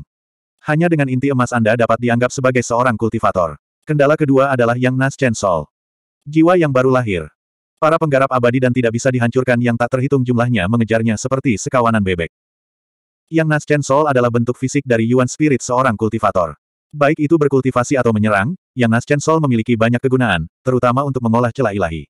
Yang Nas Chen Sol dapat mengembangkan kekuatan sihir di celah ilahi, dan ia dapat menggunakan semua jenis belenggu Yuan Spirit untuk menekan budak dan memurnikan boneka. Dan hal yang paling menakjubkan tentang Yang Nas Chen Sol adalah ia dapat meninggalkan tubuh fisik. Berkeliaran di dunia, Yang Nas Chen Sol sangat menakjubkan. Ia dapat mengintip ke dalam esensi dunia, menyerap semua jenis energi, mengendalikan harta sihir untuk membunuh orang. Ia maha kuasa. Ketika saya mencapai alam yang Nas Chen Sol, saya melepaskannya siang dan malam, meninggalkan tubuh fisik untuk melakukan perjalanan bintang-bintang. Penggarap Agung Yuezhen sedang mengenang. Setelah alam abadi dan tidak bisa dihancurkan adalah jiwa yang baru lahir. Yang Nas Chen Sol adalah kondisi matang dari jiwa dan niat Yuan. Sebelumnya, para kultivator hanya bisa melepaskan Yuan Spirit dan niat mereka, menggunakan tubuh sebagai tubuh utama untuk merasakan ruang. Tapi yang Nas Chen Sol berbeda. Ia dapat meninggalkan tubuh fisik dan tidak terbelenggu, memungkinkan tubuh fisik merasakan dunia. Aku memanggilmu ke sini untuk mempelajari tentang tujuh kemampuan ilahi agung dari Sekte Penyegel Abadi. Su Fang kembali sadar, tidak lagi memikirkan tentang Yang Nas Chen Sol. Sambil berpikir, dia dan penggarap Agung Yuezhen kembali ke ruang kuning mendalam. Segel perlahan turun. Ini adalah segel sepuluh ribu dewa yang menyegel Raja Bulu Hijau. Langkah ilahi penguasa dari Sekte Penyegel Surgawi tidak bisa dibandingkan dengannya. Sekte Penyegel Surgawi tidak mengeluarkan biaya apa pun untuk menekan Green Feather King. Awalnya, mereka ingin menekan satu-satunya burung di dunia Zuotian dan menjadikannya binatang penjaga mereka, tetapi Green Feather King terlalu sombong. Pada akhirnya, sekte tersebut menyerah. Pada saat itu, mereka memperoleh pecahan roda cerah kaisar manusia. Setelah berdiskusi, mereka memutuskan untuk menyembunyikan pecahan itu di tubuhnya. Kemudian, puluhan ahli menggunakan segel 10.000 dewa untuk menekan Green Feather King. Siapa yang mengira bahwa ia akan begitu kuat sehingga pada akhirnya bisa melarikan diri? Dan setelah 10.000 tahun, segel 10.000 dewa membentuk benih energi. Su Fang mengangguk. Senior Green Feather King pernah menyebutkan bahwa setelah sekte penyegel surgawi meninggalkan segelnya, mereka menyembunyikannya secara diam-diam. Itu sebabnya secara bertahap membentuk semua jenis benih, terutama tujuh kemampuan ilahi yang hebat. Alasan saya bisa tumbuh begitu cepat di Sekte Penyegel Surgawi karena saya menyerap banyak benih energi Daluo Heavenly Sword Key dan Green Fiend Destroy Flame. Sekarang, saya membutuhkan Anda untuk membantu saya mengembangkan kemampuan ilahi lainnya. Tujuh kemampuan ilahi yang hebat dari Sekte Penyegel Surgawi tidaklah sederhana. Ki Pedang Surgawi Daluo, Cakar Ilahi Naga Langit, Seni Misterius Es Langit Giok, dan Energi Astral Dewa Kuning Kecil. Keempat kemampuan ilahi ini dikumpulkan oleh para ahli dari Sekte Penyegel Surgawi. Sekte Penyegel Surgawi dari semua dunia kecil. Akhirnya, mereka menjadi tujuh kemampuan ilahi yang agung. Langkah ilahi penyegel surgawi, segel sepuluh ribu dewa, dan kitab suci penyegel surgawi, sangat sulit untuk dikembangkan. Langkah ilahi penyegel surgawi memerlukan satu untuk memiliki citra yang saleh atau pemahaman yang tinggi tentang ruang, segel sepuluh ribu dewa memiliki lapisan demi lapisan segel. Kita harus mulai dari asal-usul sekte penyegel surgawi. Guru hanyalah murid biasa, jadi secara alami dia tidak tahu banyak tentang sekte penyegel surgawi. Hanya tokoh tingkat tetua yang mengetahui hal ini. Sekitar 20 ribu tahun yang lalu, seorang ahli secara tidak sengaja menemukan kitab suci di negeri asing di dunia Zuotian. Ini adalah kitab suci penyegel abadi. Saat itu, Sekte Roh sudah lama tiada, dan Sekte Bintang Ungu, Sekte Awan Biru, dan organisasi kuat lainnya menguasai alam surga Zuo. Pemuda yang memperoleh kitab suci penyegel abadi melakukan meditasi terpencil selama 100 tahun, hanya untuk mendapatkan pencerahan seni energi kelas abadi yang tidak lengkap, namun, setelah 100 tahun, dia memperoleh pencerahan langkah dewa penguasa surga, segel dewa segudang, dan api sejati Azurba level. Kultivator itu muncul dari pengasingan dan melakukan perjalanan ke dunia surga Zuo, di mana dia membuat namanya terkenal. Akhirnya, dia mendirikan sekte penyegel surgawi, yang merupakan pendirinya. Semua orang tahu bahwa itu semua berkat kitab suci penyegel abadi tanpa kitab suci penyegel abadi, sekte penyegel abadi tidak akan ada. Beberapa ribu tahun setelah sekte kitab suci penyegel abadi didirikan, sekte ini memunculkan sejumlah ahli. Karena ketenaran kitab suci penyegel abadi, banyak pembudidaya bergabung dengan sekte penyegelan abadi. Kemudian, sekte penyegel abadi menambahkan energi pedang surgawi Megaplexus, cakar dewa naga langit, seni mendalam dingin langit giok, dan seni empirean dewa langit goldenrod. Keempat kemampuan ilahi tersebut dipilih dari sekian banyak seni energi lainnya. Sekte ini menetapkan aturan bahwa murid yang tumbuh lebih kuat dapat mulai mengembangkan salah satu dari empat kemampuan ilahi. Begitu mereka mencapai tingkat kesengsaraan, mereka dapat mulai mengembangkan langkah ilahi penyegel surgawi, segel sepuluh ribu dewa, dan api sejati Azurba level. Hanya setelah itu menguasai kemampuan ilahi itu, bisakah mereka mulai mengembangkan kitab suci penyegelan abadi. Bawahan Anda telah berlatih kultivasi selama sepuluh ribu tahun, dan telah menyaksikan kebangkitan sekte penyegel abadi. Setelah 20 ribu tahun, Sekte Penyegel Abadi kini menjadi salah satu organisasi paling kuat di dunia surga Zuo. Tuanku, begitulah tujuh kemampuan ilahi muncul. Seperti yang dikatakan Raja Green Feather, akan lebih mudah bagi Anda untuk mengembangkannya daripada orang lain. Dengan itu, Yang Mulia Transcendent mengatupkan tangan dan membungkuk dalam-dalam. Dua jam berlalu. Su Fang memikirkan kembali apa yang baru saja dikatakan oleh Transcendent Yang Mulia, dan menyadari bahwa Sekte Penyegelan Abadi telah menjadi terkenal dalam 20 ribu tahun terakhir. Ini adalah kekuatan baru. Ia bahkan belum lahir selama Raja Lintah. Namun sekte semacam itu telah mencapai ketinggian yang sama dengan sekte bintang Siwei hanya dalam 20 ribu tahun. Itu bahkan tidak kalah dengan sekte pedang teratai hijau. Pangeran Sui bahkan telah membunuh murid Sovereign Dao dari Spirit Immortal Sect. Hanya berdasarkan itu, sekte penyegelan abadi dipandang sebagai buaya tiada taranya di alam hutan. Jika saya ingin dihargai oleh sekte penyegelan abadi, saya harus menguasai tujuh kemampuan ilahi. Sebelumnya, saya menerima warisan resmi dari Sekte Penyegelan Abadi, dan saya mengembangkan langkah surgawi penguasa dan pedang surgawi Dalwoki. Sedangkan untuk Green Fiend Destroy Flame, saya diam-diam mengolahnya. Sebelumnya, saya tidak punya alasan untuk mengembangkan tujuh kemampuan ilahi, tetapi sekarang saya melakukannya. Ketika saatnya tiba, Anda dapat mengatakan bahwa Anda mengajari saya tujuh kemampuan ilahi di gerbang Siansa, dan bahkan membersihkan sumsumku. Tuanku ingin aku kembali ke Sekte Penyegelan Abadi. Transcendent yang mulia Transcendent bingung. Transcendent yang mulia Transcendent telah menerima nasibnya. Dia mengira Su Fang akan memenjarakannya seumur hidupnya. Tapi ketika dia mendengar ini, sepertinya. Su Fang berkata, aku sudah punya rencana. Sebenarnya, menekanmu di gerbang Xianza sudah menjadi bagian dari rencanaku. Aku ingin mengambil kembali harta yang sangat penting dari Sekte Penyegelan Abadi. Jadi aku membutuhkan pendukung di Sekte dari Penyegelan Abadi. Jika Anda menjawab Sekte Penyegelan Abadi, apakah Anda masih bisa menjadi penatua dari Sekte Penyegelan Abadi? Hehe, Dulu aku adalah seorang tetua, tapi aku bukanlah tetua agung. Namun ribuan tahun telah berlalu. Aku yakin banyak tetua yang telah meninggal atau mati. Seharusnya tidak banyak lagi yang tersisa. Saat aku kembali, Sekte Penyegelan Abadi pasti akan memperlakukan saya sebagai tetua agung mereka. Itu sudah pasti. Dan saya juga memperoleh banyak harta dari gerbang Siansa. Saya bisa memberikannya kepada mereka terlebih dahulu, terutama satu hal penting. Transenden-transenden agung sangat percaya diri. Sekte Penyegelan Abadi pasti akan menemukan rahasia gerbang Siansa dari saya. Dengan begitu, Sekte Penyegelan Abadi akan bisa mendapatkan gerbang Siansa. Guru, pikirkanlah. Dengan begitu banyak alasan, Sekte Penyegelan Abadi Siling pasti akan memperlakukan saya sebagai pemimpin mereka. Saya hanya tidak tahu apakah pemimpin Sekte Penyegel Abadi akan tetap menjadi orang yang sama setelah beberapa tahun. Seperti yang diharapkan dari barang antik tua. Ini luar biasa. Apa yang Sufang tidak dapat pahami telah diselesaikan oleh Guru Agung Yuezen satu persatu. Seperti Bagaimana Guru Agung Yuezen bisa diperlakukan sebagai tokoh tertinggi di sekolah penyegel surgawi? Hanya dengan menawarkan harta karun dan gerbang Siansa, posisinya di sekolah penyegel surgawi sebanding dengan pemimpin saat ini. Meskipun dia tidak tahu orang seperti apa pemimpin saat ini, dia pasti akan berebut menuju gerbang Siansa. Mulai sekarang, aku akan memberimu darah esensi abadi. Kamu bisa perlahan-lahan mengasimilasinya, memulihkan, dan menjadi lebih kuat. Saat ini, aku harus memikirkan cara untuk menekan Big Goblin. Saatnya kembali ke Gunung Bulan terbenam jangkauan. Setelah memanggil semua orang ke ruang kuning misterius, Su Fang dan pemimpin Yue Zhen segera terbang menuju pegunungan Monset. Sebentar lagi. Di mana Big Goblin di dunia Wutan? Istana. Su Fang dan pemimpin Yue Zhen bertemu dengan Li Zeqing. Setelah mendengar kata-kata Su Fang, Li Zeqing mengerutkan kening, Wutan World juga memiliki banyak Big Goblin yang kuat. Big Goblin itu sangat kuat, semuanya setara dengan orang tua ini, beberapa bahkan lebih kuat. Terlebih lagi, Big Goblin ini punya semua membentuk aliansi. Jika Anda menekan salah satu dari mereka, anda akan menyinggung yang lain. Namun, ada tempat yang seharusnya pernah didengar oleh Guru Agung Yuezen, itu disebut Pulau Setan Bintang Tujuh. Pulau Setan Bintang Tujuh. Sepertinya itu adalah tempat berkumpulnya Big Goblin. Pemimpin Yuezen berkata, aku pernah mendengarnya sebelumnya, tapi tempat itu adalah tanah ekstrateritorial. Selain itu, letaknya di kedalaman dunia Wutan, dekat tepi air. Aku sudah beberapa kali ke dunia Wutan. Kali, tapi aku belum pernah ke sana. Pulau Setan Bintang Tujuh adalah negeri asing, jadi para goblin besar yang maha kuasa itu tidak mampu mendominasi tempat itu. Sebaliknya, pulau itu telah menjadi tempat berkumpulnya banyak goblin besar. Dulu, Pulau Setan Bintang Tujuh disebut Pulau Setan Bintang Tujuh, tetapi sekarang ada banyak pembudidaya goblin besar di sana. Meskipun tempat itu adalah negeri asing, saya belum pernah mendengar ada reruntuhan abadi atau reruntuhan kuno yang muncul di sana. Oleh karena itu, meskipun itu negeri asing, jaraknya terlalu jauh. Bahkan Wu para pembudidaya Tanwal tidak pergi ke sana. Jika Anda ingin pergi ke sana, sebaiknya gunakan formasi transportasi dari Sekte Pedang Teratai Hijau. Anda juga memiliki keuntungan. Bukankah Gusi ahli dari Pedang Teratai Hijau Sekte? Iya, kalau begitu junior ini akan pergi. Pulau Setan Bintang 7 Su Fang buru-buru menyuruh Feng Xingzhen, Mo Feng Jun, dan para pelayan lainnya tinggal di pegunungan Monset untuk mengumpulkan semua jenis bahan pil dan membeli kuali pil.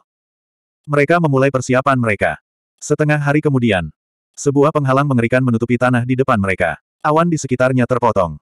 Su Fang terbang sendirian dan menatap tanah terberkati di depannya. Dia tidak bisa menahan diri untuk tidak mendecakkan lidahnya untuk memuji karena ini adalah sekte pedang teratai hijau. Sebuah sekte yang kuat dengan lebih dari seratus ribu anggota. Sebuah sekte dengan fondasi abadi yang tersegel jauh lebih kuat. Setelah beberapa saat, sesosok tubuh terbang keluar dari penghalang. Kecepatannya sangat mencengangkan. Menguasai. Sosok itu tidak lain adalah Gu Zhen, yang terakhir kali ditekan. Bawa aku ke formasi transportasi. Aku ingin pergi ke Pulau Setan Bintang Tujuh. Su Fang memberi Gu jimat rune. Ada lebih dari selusin tetes darah esensi abadi di sini. Ini akan sangat membantu Anda. Terima kasih banyak, Tuan. Gusi memegang jimat rune itu dengan penuh semangat. Ini adalah darah esensi abadi. Dia tidak tahu apakah itu benar atau tidak, tapi Su Fang tidak mau bercanda tentang itu. Dia segera membawa Su Fang ke pintu misterius. 380. Pintu keajaiban secara alami diciptakan oleh Sekte Pedang Teratai Hijau. Setelah melewati pintu keajaiban, ada sebuah gunung tinggi di depan.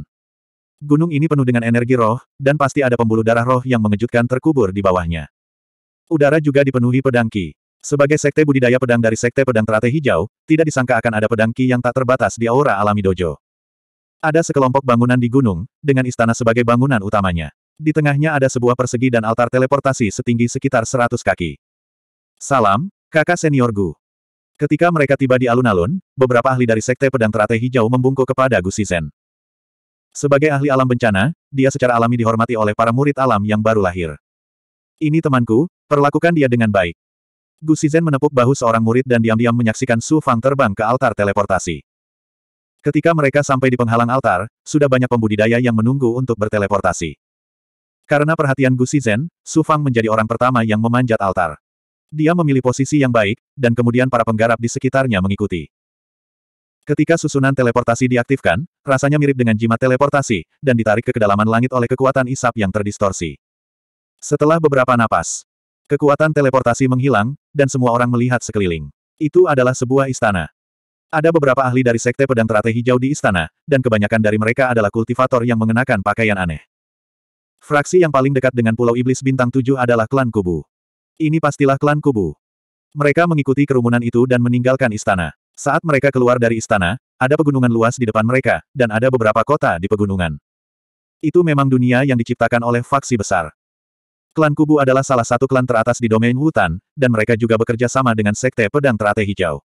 Mereka juga merupakan faksi kelas 2 di domain hutan, tetapi mereka tidak dapat dibandingkan dengan Sekte Abadi Roh dan Sekte besar lainnya. Su Fang sudah menanyakan segalanya sebelum dia datang. Dia langsung terbang keluar dari pegunungan dan meninggalkan area pusat klan Kubu. Su Fang terbang menuju kedalaman klan kubu. Tidak lama kemudian, dia memasuki medan kompleks berupa danau, daratan, dan pegunungan. Setelah terbang di medan ini selama beberapa hari, danau dan pegunungan yang lebih besar muncul. Beberapa danau tidak ada habisnya, dan sebenarnya berada di dalam air. Melihat ke langit di depan, Su Fang akrab dengan aura alam luar. Menguasai. Raja Lintah tiba-tiba muncul. Su Fang melangkah ke dalam mulut Raja Lintah. Dengan suara gemericik, ia terjun ke dalam air panas dengan uap yang mengambang di air. Raja Lintah bergerak terlalu cepat. Monster yang telah hidup selama puluhan ribu tahun itu tak terkalahkan di dunia bawah laut. Raja Lintah secara bertahap melambat saat mereka bergerak beberapa kaki di bawah air. Bersama Sufang, mereka melihat dunia bawah laut di depan mereka dalam keadaan tidak beraturan dan transparan. Tuan, ini seharusnya merupakan wilayah perairan yang dikendalikan oleh kekuatan luar angkasa. Kita tidak tahu bahaya apa yang ada di depan. Ayo kembali ke permukaan. Dengan persetujuan Raja Lintah, Su Fang tidak mau mengambil risiko dan kembali ke permukaan. Raja Lintah kemudian kembali ke Pagoda Enam Jalan Suan Huang. Di depannya ada pegunungan. Ia hampir mengapung di permukaan air, dan perlahan berputar dengan sendirinya. Ia terbiasa melihat daratan ekstrateritorial bergerak atau mengambang, namun ia belum pernah melihat daratan ekstrateritorial berputar dengan sendirinya. Kekuatan langit dan bumi benar-benar tidak dapat diprediksi. Kecepatan putarannya tidak terlalu cepat. Setelah Sufang terbiasa, dia melihat sekeliling dan menemukan bahwa gunung dan sungai lainnya juga berbentuk lingkaran. Ci, saat mereka terbang ke pegunungan, sosok besar yang memancarkan aura iblis tiba-tiba terbang menuju pegunungan dari arah lain.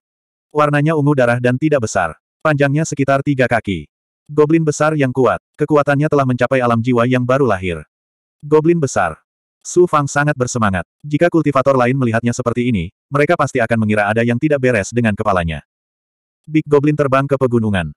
Dia melepaskan kemampuan lingkaran sempurna untuk melihatnya. Itu sebenarnya adalah kelelawar berwarna ungu darah yang panjangnya tiga kaki. Seluruh tubuh kelelawar berwarna merah, hanya cakar dan kepalanya yang berwarna ungu merah. Kelihatannya sangat mudah untuk dikenali. Ia langsung bertanya kepada sembilan komandan tersebut dan dengan cepat mendapat jawabannya. Ini adalah kelelawar pengganggu ungu. Kelelawar pengganggu ungu juga ada di domain Suotian. Big Goblin jenis ini sangat umum, tetapi ia suka hidup di kedalaman gua yang gelap. Itu hanya akan muncul saat lapar. Oleh karena itu, sulit bagi kultivator biasa untuk melihat monster semacam ini. Kelelawar pengganggu ungu masuk semakin dalam ke pegunungan. Ketika mencapai ngarai, kelelawar pengganggu ungu melambat. Ternyata ngarai itu tidak berdasar. Tuan, ada banyak aura iblis. Pegunungan ini seharusnya memiliki lebih dari selusin monster yang sekuat kelelawar pengganggu ungu. Kita bisa menangkap mereka semua dan menjadikan mereka komandan kecil. Suan Huang diam-diam mengirimkan suaranya. Kemampuan pagoda enam jalan Suan Huang untuk merasakan aura iblis jauh lebih tinggi daripada Su Fang. Su Fang sangat mempercayai hal ini. Setelah memasuki ngarai setinggi 300 meter, awalnya gelap gulita, tetapi segera, beberapa cahaya putih muncul. Itu tidak terlalu kuat. Ketika mereka semakin dekat, mereka melihat bahwa itu adalah sebuah gua yang dipenuhi dengan segala jenis batu roh.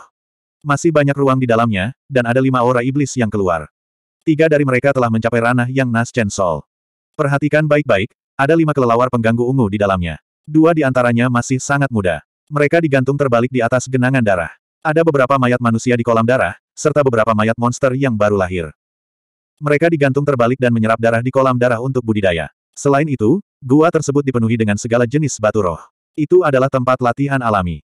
Lupakan saja, aku tidak bisa melawan tiga kelelawar pengganggu ungu sendirian. Aku hanya bisa menghadapi satu.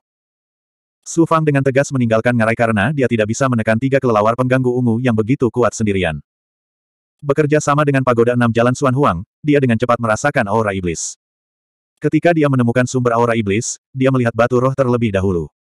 Sebuah gua tersembunyi di hutan lebat. Su Fang mengeluarkan primordial chaos secret. Tidak peduli monster macam apa yang ada di dalam gua, dia akan dibasmi. Kemudian, dengan jentikan jarinya, Suan Guang menghantam gua. Bang! Gua itu berguncang. Membelanjakan. Monster mirip citah menerkam keluar gua. Kecepatannya jauh lebih cepat daripada kultivator alam yang Nas Chen Sol manusia. Itu adalah monster dengan kulit mirip batu. Tingginya lebih dari 20 kaki, dan ketika ia meluruskan tubuhnya sambil merangkak, ada banyak duri tipis di tubuhnya.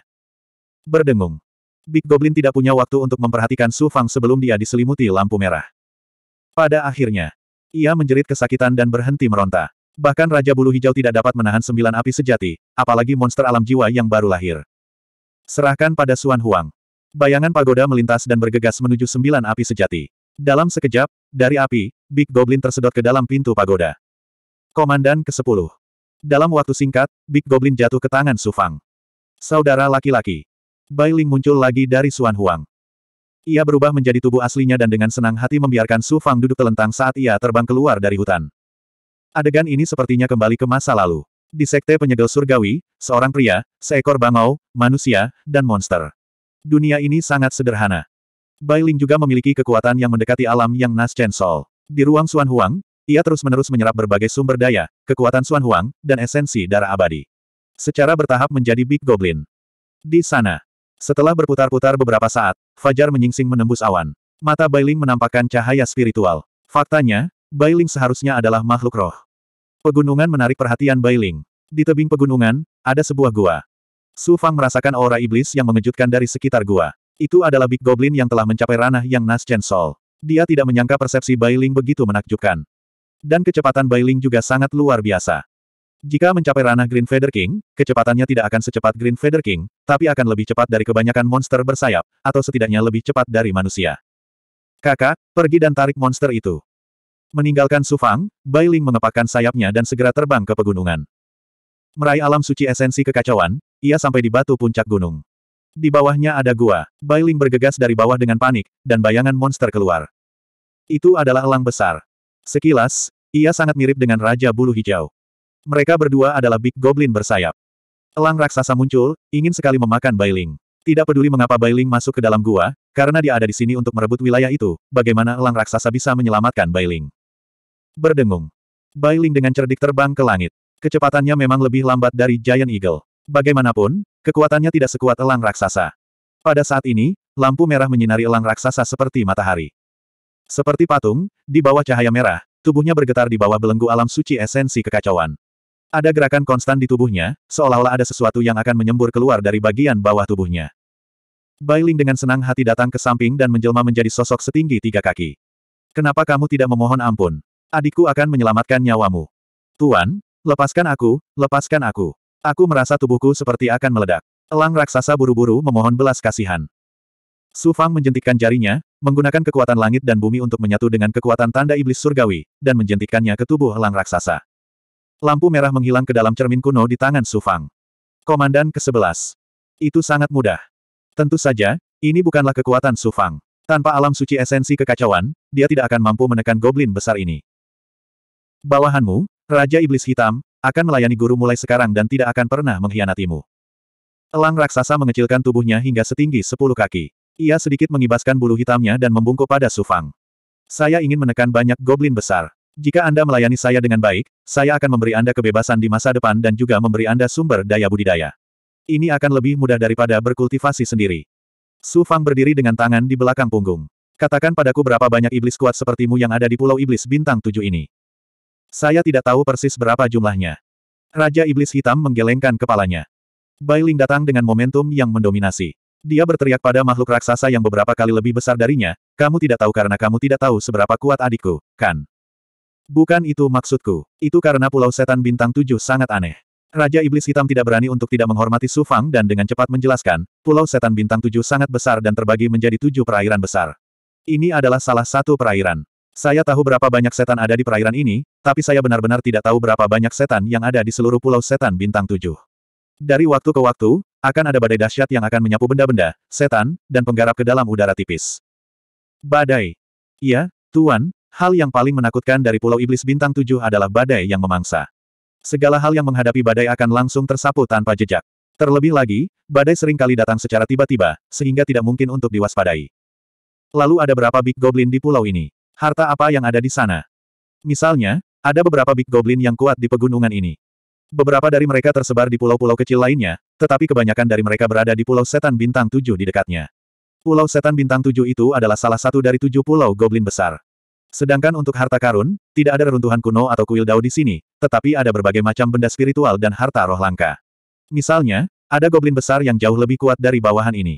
Ia memperoleh batu aneh yang sangat istimewa yang dapat membantu dalam budidaya.